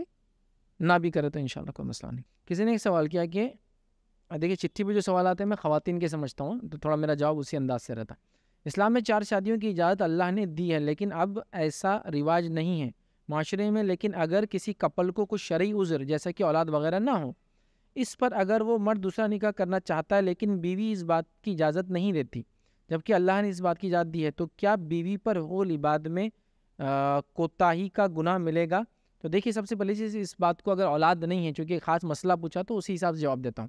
اولاد نہیں ہے کہ اگر مسئلہ ہے تو پہلی چیز تو میرا اس پہ ایک لیکچر ہے کہ اولاد کی پیدائش سائنٹیفک طریقے سے کیسے کرے؟ تو مطلب اس میں میں نے پورے سائنسی میتھڈز بتائے جو آپ آرٹیفیشل انسیمینیشن اس کے بعد test tube baby I U I I V R in in vitro fertilization intrauterine insemination, I U I, یہ سب پہ میں نے بہت لمبی ڈسکشن کی ہے کہ کس طرح سے بچہ اگر قدرتی طریقے سے پیدا نہیں ہوتا تو سائنٹیفک طریقے سے اسی ماں کا انڈا اور اسی باپ کا نطفہ لے کر کیسے پیدا کیا جا سکتا ہے؟ اس لیکچر کو آپ دیکھیں، سارے اس میں سائنسی باتیں اور کیا حلال ہے اور کیا حرام ہے، پورے کنڈیشنز کے ساتھ میں نے رکھی ہے۔ اور یہ لیکچر کے اندر ایسے لوگ موجود تھے جن کو اولادیں نہیں تھی یا جنہوں نے اس طریقے سے اولادیں ہو کی تو سوال جواب بھی اسی انداز کے اس میں ہے۔ وہ سنڈے لیکچرز نہیں ہے ایک الگ لیکچر ہم نے وہ رکھا تھا لوگوں کے لیے۔ آپ اس کو ایک بار ضرور دیکھیں، اس میں آپ کو کافی ساری چیزیں، یا I U I I V R, test baby میرے نام سے ڈالیں، آپ کو مل جائیں گے۔ تو پہلے تو اگر کسی کو اولاد نہیں ہے تو وہ ٹیکنیک یوز کریں۔ اگر اللہ نے چاہا تو ہو سکتا ہے، اس کے ذریعے اللہ تعالیٰ ان کو اولاد عطا کر دیں گا تو یہ ایک مسئلہ تو ہو گیا۔ دوسرا ان کا سوال ہے، کیا بیوی ہو لباد کے معاملے میں گناہ گار ہوں گی؟ اگر واقع میں وہ سب کرنے کے بعد پتہ یہ چلا کہ بیوی میں نقص ہے پہلے تو ٹیسٹ کرا تھا جنرل ٹیسٹ ہوتے ہیں۔ اسپم کاؤنٹ کتنا ہے؟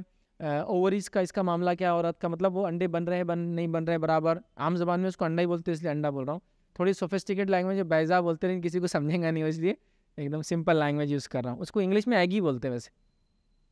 تو اووریز ہے، اس میں اووم میں سے نکلتا وہ سب سائنٹیفک ہے، لیکن ایک بالکل عام بات بولتے ہیں، ان کے انڈے برابر نہیں، ان کا نطفہ برابر نہیں مطلب اس کا ایگ برابر نہیں، اس کے اسپم برابر نہیں اسپم کاؤنٹ۔ تو بہرحال تو بہرحال وہ برابر نہیں ہے۔ وہ پہلے ٹیسٹ کرتے ہیں۔ اگر اس سے پتہ چل جائے کہ لڑکی میں وہ پیدا ہی نہیں ہو رہے ہیں، تو اس کا بھی ایک طریقہ ہوتا ہے۔ کبھی کبھار کیا ہوتا ہے نیچرلی ڈکٹ بند ہوتا ہے۔ اس کو کاٹ کے ایک ایک چھوٹا سا آپریشن ہوتا ہے، اس کو کاٹ دیا جائے تو وہاں سے پھر نکلنا شروع ہو جاتے ہیں وہ جو بھی وہ آپ نے کر لیا، سمجھو، سب سب کر لیا۔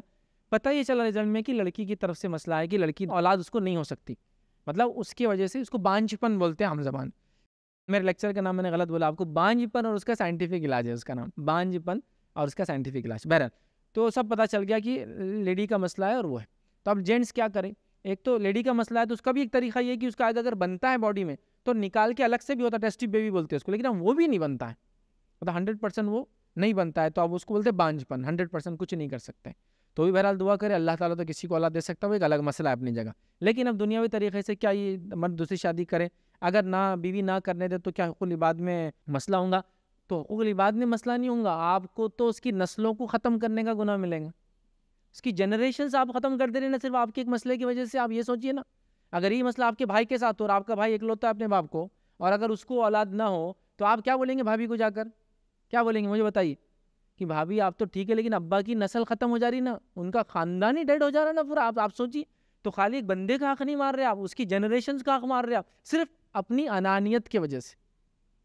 علماء کے فتاوے تو یہاں تک ہے جو شخص، جو عورت یا جو مرد دل میں اس چیز کو ذرہ برابر بھی برا مانے، دوسری شادی کو، وہ شخص کافر ہے۔ بہت بڑی بات ہے۔ کیوں؟ تو اللہ کے حکم کے خلاف وہ برا سوچ رہا۔ مسئلہ یہ ہے۔ مسئلہ وہ نہیں کہ یہ تو مردوں کے، وہ نہیں۔ اللہ نے جس چیز کی اجازت دی، اگر آپ دل میں برا جانتے ہیں تو آپ کافر ہو جاتے ہیں۔ خیر، میں یہ فتووں کو ریپیٹ نہیں کرتا، ڈرانا نہیں چاہ رہا میں کسی کو۔ یہ ہم لیکچر میں کبھی بولا بھی نہیں، بولتے بھی تو کاٹ دیتے ہم لوگ۔ چونکہ لوگ بہت گھبرا جاتے ہیں اور جو مرد ہوشیاری کرنا چاہتے ہیں وہ اس کو ریفرنس آنے فیصلے نہیں بولے تم کافر ہو جائیں چلو شادی کرنے دو۔ تو ہم لوگ خود اس کو ہم بھی اتنی حکمت اختیار کرتے ہیں کہ لوگوں کو انیسری بینیفٹ نہیں دینا چاہیے۔ لیکن آپ سوچیے، آپ خالی حقوق العباد کا میرے سے سوال کریں، حقوق العباد نہیں مار رہے آپ، اس کی نسل خراب کر رہے ہیں پوری۔ جبکہ یہ طے ہے کہ ہنڈریڈ پرسینٹ اب اگر کوئی یہ سوال کرے، ہمارے شوہر میں اگر یہ مسئلہ ہوتا تو؟ ہوں ہمارے پہ تو آپ بہت جلدی چڑھ جاتے مردوں مرد جو عورت پہ بہت جلدی وہ کرتے ہیں، غلطی ہے تو، لیکن اب میں سوال کر رہی کچھ عورتیں ایسی بھی سوال مر سکیں ہمارے اگر شوہر میں یہ مسئلہ ہو جاتا تو آپ کیا بولتے؟ تو میں آپ کو یہ پوری اجازت دیتا، شریعت آپ کو پوری اجازت دیتی، شادی کے مقاصد میں اولاد پیدا کرنے کا مقصد ہے، اگر پورا نہیں ہونا تو عورت کو پوری اجازت ہے اپنے شوہر سے طلاق لینے کی، پوری اجازت۔ ہے تو ایک دم ڈر جاتے ہو، ارے نہیں نہیں ہم طلاق نہیں دینا چاہ رہے۔ نہیں آپ نے سوال کیا نا کہ ہمارا اگر شوہر میں یہ ہو تو کیا ہم چھوڑ سکتے ہیں؟ ہاں آپ چھوڑ سکتے شادی کے مقاصد میں سے مقصد ہے۔ شرمگاہ کی حفاظت ہو، نظروں کی حفاظت ہو، نسلوں کا آگے بڑھنا ہو، یہ اس کا مقصد ہے۔ مقصد فوت ہو گیا۔ تو نکاح ضائع کر جیسا کہ ایک مثال کے طور پر ایک سوال آیا تھا تو میں وہ کر رہا ہوں۔ ایک صاحب کا ایکسیڈنٹ ہو گیا۔ شادیوں کے بہت ارلی بالکل بہت وہ تھا۔ ایکسیڈنٹ ایسا ہوا کہ پیلوک ریجن جو یہ حصہ ہوتا ہے، شرمگاہ جہاں ہوتی ہے، وہ ڈیمیج ہو گیا۔ مطلب نہ اسپم بن سکتے، نہ شرمگاہ باقی رہی، بلکہ ان کو کافی مسائل ہو گئے۔ ایکسیڈنٹ ہی ایسا ہوا سیویئر لیکن زندگی بچ، جان بچ گئی، زندگی تھی۔ اب کیا کریں؟ اس کو اولاد ہی نہیں ہو سکتی۔ اولاد تو دور کی بات ہے۔ وہ اب کوئی ایسا عمل بھی نہیں کر سکتا۔ تو شریعتاً اس کو فتویٰ موجود ہے، وہ طلاق لینا چاہے لے سکتی، رہنا چاہے تو رہ بھی سکتی۔ اس کی چوائس پر ہے۔ تو وہ عورت اگر کوئی یہ بولے ہاں ہمارے بارے میں تو بول دیا آپ نے، اگر ہمارا مرد بانجھ ہے تو پھر تب ہم نے کیا کرنا؟ تو آپ کو پوری اجازت ہے دوسری شادی کرنے کی، چونکہ آپ کی نسل آپ آگے بڑھا سکتے اس کے ذریعے۔ لیکن یہاں اگر اس کی نسل رک گئی تو اس کا خاندان رک جاتا پورا۔ نسلیں مردوں سے چلتی ہے نا۔ عورتوں سے بھی آپ مان سکتے ہیں، لیکن وہ سیکنڈری مانی جاتی ہے پرائمری تو لڑکوں سے ہی مانی جاتی ہے نا جنریشنس تو آپ تو اس کی جنریشن ختم کر دے رہی بیچارے۔ نہیں نہیں، ان کے ابا کو چار بیٹے ہیں، انہوں مطلب ان کو چار بھائی ہے ان سے چل رہی نا، وہ ٹھیک ہے، لیکن اس کی خود کی بھی تو خواہش ہوں گی کہ اس کے نام لینے والے دنیا میں باقی رہیں۔ اس کے دنیا سے جانے کے بعد اس کے لیے دعا کرنے والے لوگ باقی رہیں۔ اس کے دنیا سے جانے کے بعد کچھ لوگوں کو ایسا سکھا کر جائے جو اس کے بعد اس پہ عمل کریں۔ کچھ اپنا حلال پیسہ اپنی اولاد پر خرچ کرے تو خواہشات انسان کی بڑی رہتی ہیں۔ دنیا میں جتنے پوزیشنز انسان کے پاس ہوتے ہیں، اس میں سب سے زیادہ جس چیز کو وہ کووڈ کرتا ہے، جس کے لیے پیچھے بھاگتا ہے اس کی اولاد ہوتی ہے۔ باقی ساری یہ سیکنڈری ہوتی ہے کسی کو کچھ بھی نہیں ہے۔ مطلب گھر نہیں ہے، باہر نہیں ہے، صحیح نوکری بھی نہیں ہے، لیکن اس کو بچے تو کتنا خوش رہتا ہو۔ بچے اپنے۔ باقی کچھ نہیں ہے اس کو۔ پتا گھر بھی صحیح نہیں کرائے میں رہ رہا فلاں۔ پھر اس کی امیدیں بھی رہتی ہیں ان بچوں سے، آگے جا کے بہت کچھ کریں گے۔ تو ایسا رہتا۔ اب بچے ہی ختم، باقی سب ہے آپ کے پاس۔ بیوی ہے، گھر ہے۔ دکان ہے بنگلہ ہے مکان ہے لیکن اس میں وہ جو اپنا کما رہا ہے، وہ کسی کو کھلا نہیں سکتا، کسی کو اپنا نہیں بول سکتا۔ مرنے کے بعد یہ پراپرٹی جو اس کو معلوم کیا ہو جائیں گی؟ کلالا کی شکل میں ہو جائیں گی مطلب وہ کوئی نہیں گا اس کا وارث، ہے نا؟ تو وہ سب سوچ رہتی ہے اس کو، تو وہ بھی چاہتا ہے اس کی نسل چلے۔ انسان تو دور کی بات ہے، جانوروں میں بھی یہ صفت ہوتی ہے۔ جانور بھی تو تھوڑے سمجھدار ہوتے وہ جھاڑوں میں بھی صفت ہوتی ہے، اپنے بیج گرا کے اگلے بیج سے جھاڑ آتا اس جھاڑ آتا نا، ایک جھاڑ کے پاس دوسرے جھاڑ آتے اسی قسم کے تو جانور بھی جانتے ہیں، ان کی جنریشنز باقی رہنا۔ تو ان کے اندر بھی سسٹم رہتا، وہ جو میٹنگ کرتے، سب سے اچھے بل سے جو ہے وہ سارا پورا ان میں اللہ نے ایک سسٹم بنایا۔ تو ایک نسل کا باقی رہنا، نسل کی بقا کے لیے جنریشن آفٹر جنریشن لوگ وہ کرتے ہیں۔ تو ظاہر سی بات ہے، انسان بھی ویسی کرتے ہیں۔ اور اس کے علاوہ جو ہے، ہم چاہتے ہیں کہ ہم دنیا سے جائے تو اللہ کا نام لینے والے لوگوں کو ہم چھوڑ کے جاؤ اولاد ہی تو کرتی ہے نا پھر۔ جو بھی عبادتیں کریں گی، جو خرچہ ہم ان پہ کریں گے، وہ سب۔ تو وہ ساری چیزوں سے آپ کیا کر رہے دھن بول کے لاگے، صرف ایک میرے کو پسند نہیں بول کے پورا اس کو محروم کر دے رہے اس چونکہ سوال تھا کیا حقوق العباد مارا جا رہا ہے؟ آپ صرف حقوق العباد نہیں مار رہے، آپ اس کی نسلیں ختم کرنے کے اندر شامل ہے جبکہ یہ بات ثابت ہو چکی ہے۔ اگر کوئی کہ اگر میرے میں یہ مسئلہ نہیں ہوتا، ان میں ہوتا تو تو آپ کو چوائس تھا پھر ان کو چھوڑنے کا، اس میں کوئی مسئلہ نہیں تھا۔ بٹ آپ کو یہ بھی چوائس ہے، آپ رہنا چاہے تو ساتھ رہ سکتے اس معاملے۔ ضروری نہیں چھوڑنا۔ رہ سکتے، لیکن چوائس ہے آپ کے پاس۔ جیسا ان کے پاس چوائس ہے تو یہ کر رہے ہیں۔ بٹ اللہ شریعت نے اس کو اگر ڈھیل دی ہے اور ایسا مسئلہ ہے تو فائدہ اٹھانے میں، اس ڈھیل کا بینیفٹ لینے میں انشاءاللہ عزیز کوئی مسئلہ نہیں ہے۔ لیکن پہلے جیسا میں نے کہا ٹیسٹ کرا لیں۔ اس کے بعد، وہ ٹیسٹ کے بعد اگر آرٹیفیشلی ٹیسٹ بیوی جس کو بولتے ہیں، وہ طریقے سے ہوتا ہے تو وہ کرا لیں۔ لیکن اس کی کنڈیشن سے اسٹرکٹ کنڈیشن ہے وہ لیکچر سنیں گے تو آپ کو پتہ چلیں۔ گے اگر اس کے بعد بھی یہ پتہ چل جائے کہ نہیں، سو فیصد لڑکی کی طرف سے بانج بنے، تب پھر وہ اجازت دے دے، ورنہ کیا ہوں گا؟ اس کی جنریشنس ختم ہو جائیں گی۔ تھوڑا سوچو اس پہ۔ غور یہ چیز ایسی نہیں، جوش میں آنے کا کام نہیں ہے۔ مطلب جوش میں آج آگے بول دیا اور کل سے اس کے ساتھ فائٹنگ چالو۔ ابھی شوہر سے چالو ہوتی پھر کل اس کی بھی مطلب سیکنڈ وائف سے چالو۔ نہیں، ویسا نہیں ویسا نہیں۔ کبھی نہیں۔ یہ کام بہت سوچ سمجھ کے بیلنسڈ وے میں، آگے کا سوچ کے، مرنے کی بات کی زندگی کا سوچ کے۔ اپنے بارے میں دیکھ اپنے بارے میں بھی سوچ سکتا نا۔ دیکھیے، شوہر کی اولاد تو اپنی اولاد ہوتی نا۔ اس کی ماں دوسری ہوں گی، لیکن شوہر کے بچے، اس ہر بیوی کے لیے بچے ہوتے جیسا مثال کے طور پر ایک آدمی کو اگر دو بیویاں، تین بیویاں ہیں تو سب کے بچے، سب کے بچے ہیں۔ تو اب سمجھو، ایک بیوی سے شوہر کو بچہ نہیں ہوا۔ سیکنڈ سے ہو گیا، تو بچہ کس کا ہے لیکن وہ؟ بچہ آپ کا بھی تو ہے نا۔ تو دیکھو، آپ کو بھی تو ماں بننے کی خوشی ہے، اس کے، اسی بہانے۔ دیکھیے، ہائی چانسز ہے نا کہ وہ بھی جو ہے، اس کو وائف آئیں گی سیکنڈ تو یہ جو بچہ رہیں گا، اس کا بھی تو بچہ کہلائیں گے نا۔ ٹھیک ہے، وہ بعد میں بول سکتی ہے، ہمارے شوہر کا بچہ ہے۔ ہماری ان کی سیکنڈ وائف سے ہے ان خاندان، اس کو بھی تو بچہ ملیں گے نا، لوگ پڑوسیوں کے بچے کو پال لیتے ارے، بہنوں کے بچوں کو پال لیتے بھائی کے بچے کو پال لیتے کہ اپن اپنا بلا لیں گے، بچہ نہیں ہے۔ تو اس کے شوہر کا بچہ رہیں گا خود کا۔ تو اگر اس کو ایک بچہ ہوا تو وہ اس کا بچہ ہوا سیکنڈ بچے کو بولنا میں رکھوں گی پھر۔ مطلب اس میں کوئی جائز ہے، یہ تو حرام نہیں ہے نا۔ اپنا بچہ گود دینا کسی کو حرام ہے۔ ایک بچہ ایک بیوی سے ہوا، دوسری بیوی کے پاس رہا، وہ کوئی مسئلہ نہیں، وہ اس کی ماں کہلائیں گی۔ تو آپ کو بھی تو فردر چانسز ہے اور ہو سکتا ہے ایسا ہو جائے کہ یہ نکاح ہو جائے اور اللہ تعالیٰ اس نکاح کی برکت سے جیسا ابراہیم علیہ السلام کو دوسری بیوی سے اولاد ہوئی تو پہلی سے بھی ہوگی بعد میں۔ اس نکاح کی برکت سے اللہ پہلی کو بھی اولاد دے دے۔ ہوا نا، ابراہیم علیہ السلام کو اولاد نہیں تھی سیکنڈ میرج ہوئی۔ سیکنڈ میرج کی ہوئی؟ سارا علیہ السلام نے سوچا کہ اگر یہ، حالانکہ حضر علیہ السلام تو غلام بول کے تحفے میں آئی تھی۔ کسی بادشاہ نے دیا تھا کہ غلام بول کے رکھو، لیکن وہ سمجھ گئی یہ بادشاہ کی بیٹی ہے ہونہار ہے۔ انہوں نے کیا کیا؟ اپنے شوہر کو کہا کہ میں چاہتی ہوں آپ ان سے نکاح کریں تاکہ ان سے اولاد ہو۔ جب ان کو اولاد ہوئی تو ان کو بشارت مل گئی۔ اسماعیل اسلام ہو گئے تو سال ایسا تو اللہ ہو سکتا ہے اس برکت سے آپ کو بھی دے دے۔ تو بہت لمبا سوچی ایسا ایسا یہ مت سوچو انہوں کیا بولیں گے، انہوں کیا بولیں گے، انہیں کیا کریں گے، وہ زیادہ اس کے پاس جائیں گے۔ ہاں۔ وہ سب چھوڑو۔ ایسا دور کا بولتے نا، دور کی پلاننگ رکھنا چاہیے تھا، لمبا سوچنا چاہیے۔ تو یہ سب فائدے ہیں نا کہ اس کے گھر میں بچہ ہوں گا، اس دوسری بیوی سے تو آپ کا بھی بچہ ہوں گا۔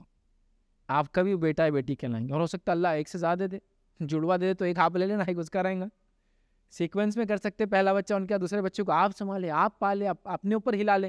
چونکہ یہ تو جائز ہے، نہیں، گود لینے میں نہیں آئیں گے۔ اسی شور کا بچہ ایسی دوسری بیوی پال رہے آپ سمجھ رہے اور دوسرے راستے بھی نکل سکتے۔ میں نے وہ اس لیکچر میں پورا بہت ڈیٹیل میں کیا۔ دوسرا راستہ کیا نکل سکتا؟ ہو سکتا ہے آپ کا ایگ بھی برابر ہو۔ ہو سکتا ہے اس کا اسپم بھی برابر ہو۔ آپ کے یوٹرس میں پرابلم رہتا ہے کبھی عورتوں کی۔ تو آپ یہاں کیا فائدہ اٹھا سکتے آپ؟ آرٹیفیشیل انسیمینیشن کا انڈا آپ کا ہو۔ اسپم آپ کے شوہر کا ہو اور دوسری بیوی سے آپ اپنا بچہ پیدا کر سکتے ہیں۔ یہ بھی جائز ہے شریتن دوسرے کسی کا انڈا لینا حرام ہے، یاد رکھیے ہاں۔ دوسرے کسی کا انڈا لے کے کسی اور کے اس میں ڈالنا، وہ بھی حرام ہے، یاد رکھیے۔ یہ اس کی دونوں وائفس ہے سیروگیسی اسلام میں حرام ہے مطلب اپنا بچہ کوئی اور پیدا کرے وہ حرام ہے۔ لیکن یہاں سیروگیسی ہو رہی ہے، لیکن کس سے ہو رہی ہے؟ ایک ہی شوہر کی دو بیویوں میں ہو رہی ہے، تو یہ جائز ہے۔ آسم نسل بدل رہی نہیں ہے۔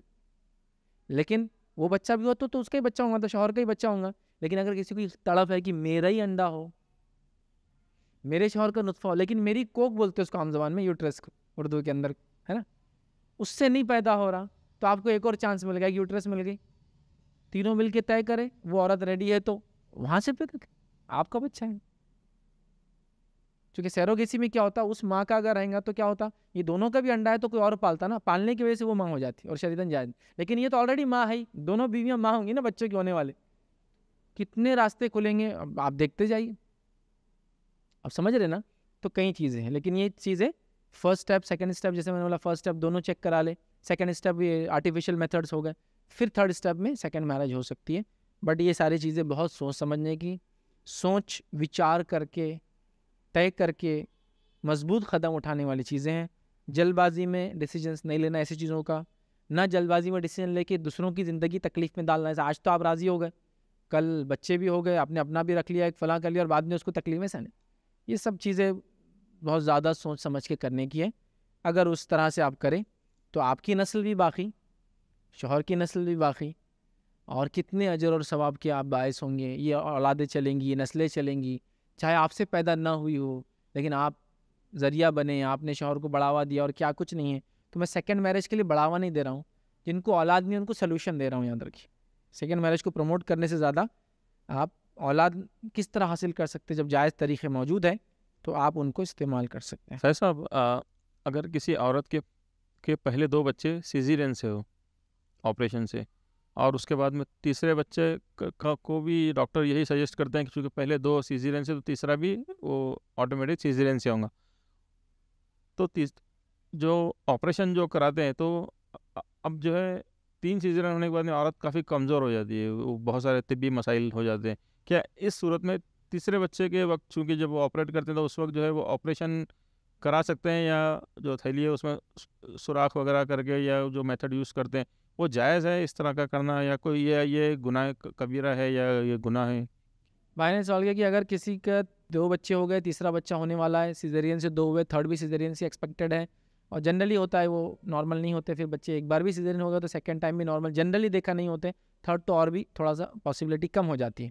تو پھر ڈاکٹر بولتے ہیں کہ اب آپ کیا کر لو، چونکہ سیزرین ہونے سے کمزوری ہو جاتی ہے، پیٹ تین تین بار کھل جاتا ہے تو آگے پرابلم لیڈی کو ہو سکتی ہے تو آپریشن کرا لو۔ کیا کرا سکتے ہو؟ دیکھیے، اس معاملے میں آپ ڈاکٹر سے کنسلٹ کریں پہلے۔ کیا ایسا نہ کرنے سے اس کی جان کو خطرہ ہے؟ جیسے واقعی میں اگر جان کو خطرہ ہو سکتا ہے عورت کی کہ فورتھ پریگنینسی ہو جائے تو بڑے مسائل ہو سکتے ہیں۔ تو اگر ڈاکٹر اس کو سجیسٹ کرتا ہے اور یہی ایک طریقہ ہے اس کی جان بچانے کا اور اس کی صحت کو صحیح اور سالم رکھنے کا فیوچر کے لیے، تو پھر یہ آپ کی مجبوری ہے۔ پھر یہ مجبوری ہے آپریشن کرانا۔ یہ آپ کی خواہش نہیں۔ یہ مجبوری ہے کہ اللہ ہم اگر اور ہوتا تو ہم اور اولادیں پیدا کرتے، لیکن حالات نہیں ہیں۔ صحت کی وجہ سے، سمجھیں۔ تو یہ آپ ڈاکٹر سے پوچھیں۔ ڈاکٹر کا مشورہ اور کسی مفتی سے بات کریں کہ ڈاکٹر نے کہا کہ فورتھ چائلڈ اس کی جان کے لیے خطرہ ہو سکتا ہے، فیوچر کے لیے خطرہ ہو سکتا ہے، اس کے پیٹ کے لیے خطرہ ہو سکتا ہے، اس کو کئی بیماریاں ہو سکتی، فلاں فلاں فلاں فلاں، کئی چیزیں ہوتی ہیں اس سے، ٹھیک ہے، ہرنیا ہو جائیں گا، فلاں ہو جائیں گا، کئی پرابلمس تو پھر ڈاکٹر سے کنسلٹ کرے وہ کہیں ہاں واقعی میں ایسا ہے، ایک مفتی سے کنسلٹ کرے اور پھر آپ کرا دے وہ، یہ آپ کی مجبوری ہے اور دل میں برا جانتے اور اللہ سے توبہ کرتے اللہ ہم چاہتے نہیں تھے لیکن یہ ہم کو کرنا پڑے گا۔ کوئی خواہشیں کرائے تو گناہ کبیرہ ہے۔ باڈی میں چینج کرانا گناہ کبیرہ ہے۔ اولاد کی پیدائش بند کرنے باڈیلی چینج ہے۔ وہ تو گناہ کبیرہ لیکن جو مجبور ہو جائے تو پھر اللہ سے توبہ کرے، اللہ تعالیٰ انشاءاللہ ہماری مجبوریوں کو یہاں دیکھیں گا۔ صرف اپنی بات کو انشاء ہو گئی کریں گے؟ واخر دعوان الحمد للہ رب العالمین۔ سبحان ربک رب العزت عما صفون وسلام المرسلین والحمد للہ رب العالمین۔